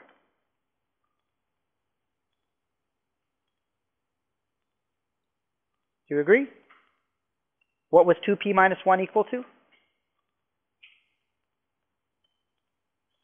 Well, if we just flip back, we can see, okay, well, here's p. Okay, so if you multiply it by 2 and subtract the 1, you just get this ratio. Okay? So that's going to be mu star minus a half sigma star squared all over sigma star, and then there's the square root delta t. So we're going to take t delta t going to 0. So we can ignore the plus little o delta t in the end. We don't need it. But if you want, for completeness, we can put that there. And now we can see delta t goes down to 0, same thing as n going to infinity. What happens? Well, let's look at all of the factors that we've got in terms of big N. This here is capital T over square root over n. This here is capital T over n. Multiply those two together, I'll get T over n, but I also have a factor of n there. So I'll just get T times this constant plus something that goes to zero. So in the limit, I will simply get this constant times T. And then there's a sigma star out front, so the sigma stars cancel. And I'm going to go, I'm going a little bit fast here, but this is sort of simple. It's, it's algebra. Check it on your own if you get lost. But at the end of the day, it's just computing these expectations and doing a little bit of algebra. Okay. So that's one. We've got that. And the variance, the variance of this random variable, well, again, we've got a sum of, I'm just scrolling up to show you what x is again. A sum of independent things um, that are identically distributed. And we've got a sigma star square root delta t there. So if we take the variance, we'll get sigma star delta squared delta t times n times the variance of any one.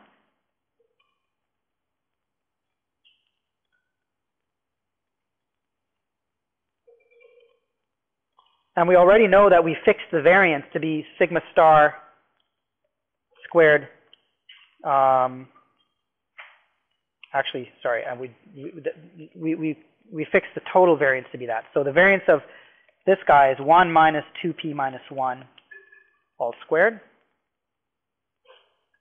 Okay? And I'll remind you again, what's this 2p minus 1 all squared is going to be this.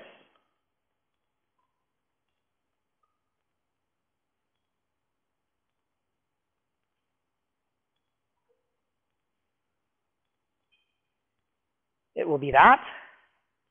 And here we see something that's going to zero being added or subtracted from 1. This is not going to 0. This is big T over n. So the n's will cancel, and this just gives me big T. So in the limit, as n goes to infinity, this is very simple again. Or delta t going down to 0, this becomes sigma star squared times big T. So what we found is that the limiting distribution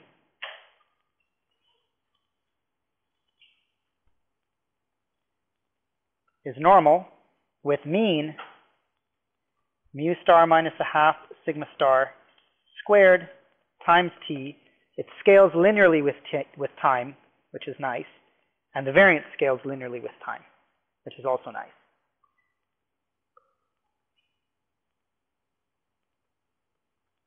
And we can write the asset price equals this initial asset price times e to the xt. So such kind of distribute, such kind of random variables, which is the, which are written as the exponential of a normal, these are called log normal random variables. Oh, and I should be careful here. This is the limiting distribution under the measure p. Okay, um, equals in distribution equals that, and let's say um, let's put, trying to think where I want to put the P in here. I'll just put it there, okay? Sort of at the end of the arrow. Okay.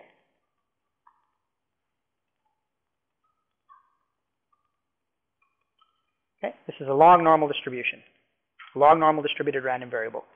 You could write this in terms of in terms of a standard normal. Sometimes people write it like this.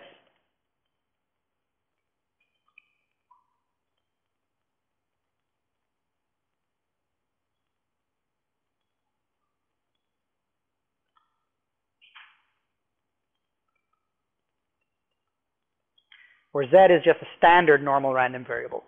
So all I've done is I've introduced something which is in distribution the same as x capital T. So this is its mean. And if you compute the variance of this last term, since this is standard normal, the variance of this is the same as the variance of x. So they're equal in mean, equal in variance. They're normally distributed, so they're the same in distribution.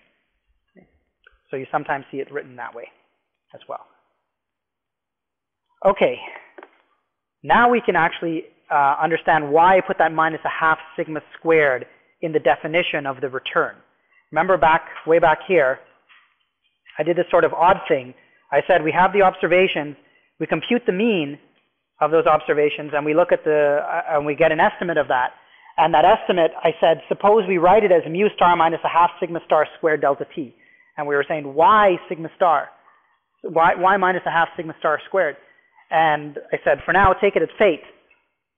Later on, it'll mean something. It's called a convexity adjustment or convexity correction. Well, let's see why, what does it mean? Why did that come in useful? Well, suppose I ask you to calculate the expected value of the asset A capital T. What is it equal to? Well, it's A0 as the expected value of e to the xt. And if you remember your moment generating functions for standard normals, so first of all, I'll just write this in terms of the z random variable here. So uh, reminder,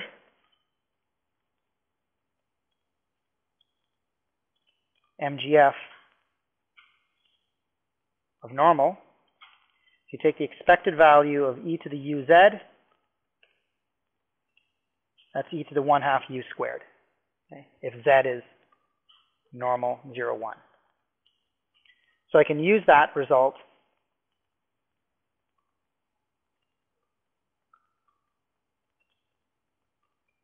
and you can see, well, that the u there is sigma star square root t. If I square it, I'm going to get a half sigma star squared times t, and that kills that half. That kills that that that term. so you get just mu star t.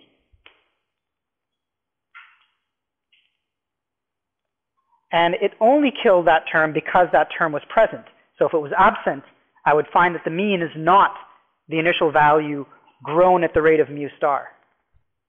So there's the interpretation. Mu star, when we write it in the way that I did, in terms of calibration, mu star becomes the expected continuously compounded return of the asset. Okay? Sometimes simply called the drift or the expected return.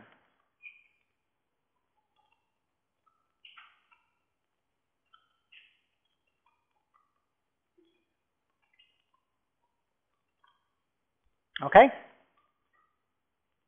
So this gives you the interpretation why I subtracted the half sigma squared in the beginning. Questions?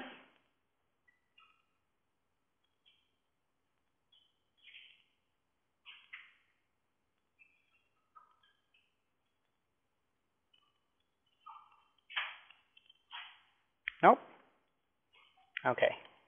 Um, hmm. Thinking it's getting a little bit late. I don't know if I want to do the other thing. Okay. Let's start it and see where I get to in seven minutes. Okay, so the last last point that I wanted to do was look at how look at the risk neutral measure, Q.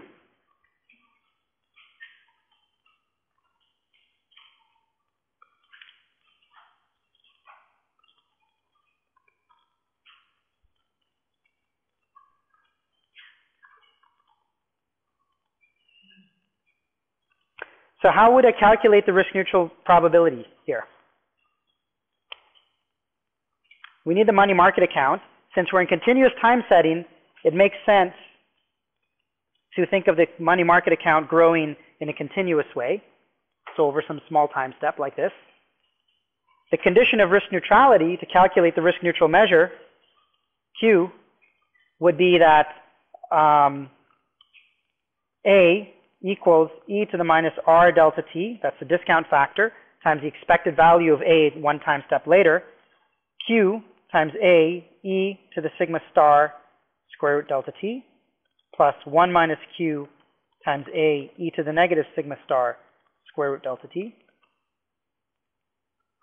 And we see one very nice thing, one very nice fact, is that um, this a cancels everywhere. And what does that tell me? That tells me that this risk neutral probability doesn't matter where in the gigantic tree I am. No matter where in the tree you are, it's the same Q. Q is independent. So there's some giant tree and you're in some node there, Q is always the same. Probability of going up, always the same. And in fact, that was an outcome of the previous calculation. The probability of P going up was always the same. It didn't mean that uh, there was no um, it wasn't obvious that because P is always the same doesn't imply Q is always the same. It doesn't have to be. But in this case, it turns out to be. So here we'll get Q equals, if you just solve the system, you'll get e to the minus R, e to the R, sorry, negative sigma, sigma star, square root,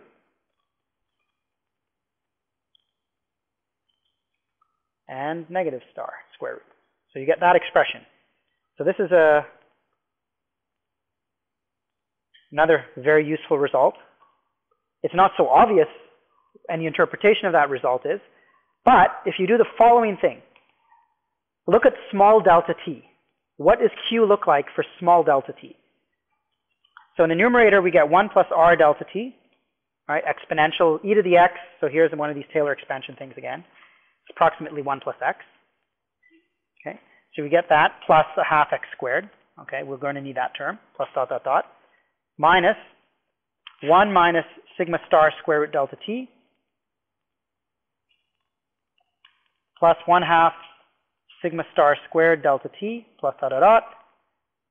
In the denominator, you get 1 plus sigma star square root delta t, plus 1 half sigma star squared, square, uh, there's no square root there because I squared it, dot dot dot minus the exact same thing, except there's a minus sign there.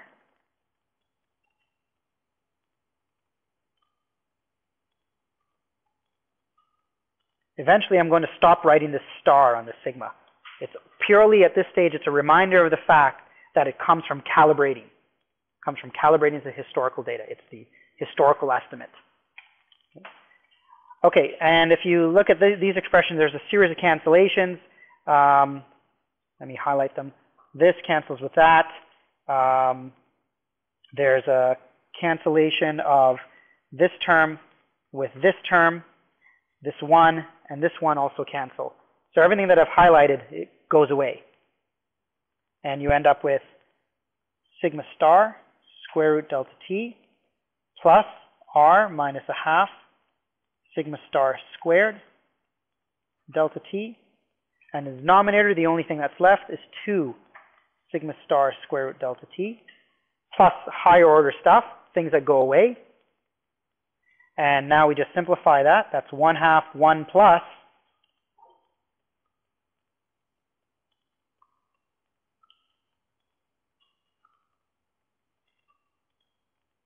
Okay, that's Q. Now remember, what was P? There's kind of a miracle happening here.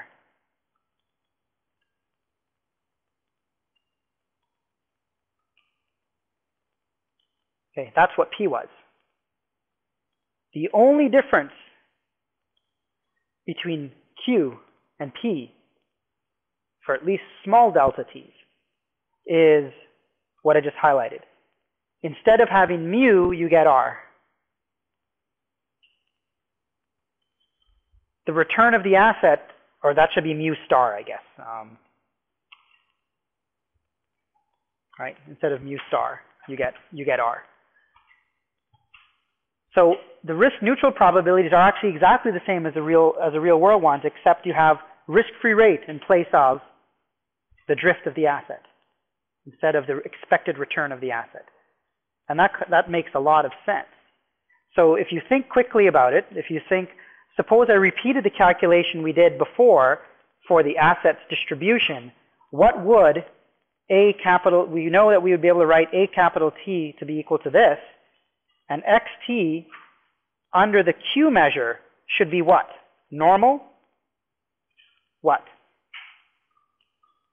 Its mean would be this, and its variance would be the same. That's the surprising fact. So you can check that calculation for you.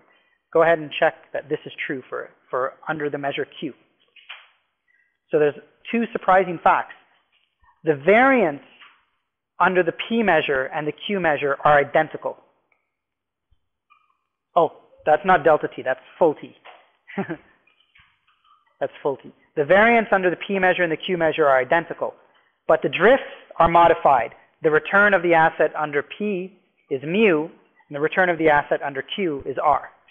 As expected, right? We kind of expected that. That's the definition of risk neutral.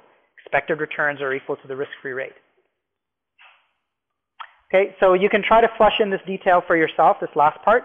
It's just some more algebra, more or less the same as what we just went through for P. Okay, so let's, um, I'm going to pause the, uh,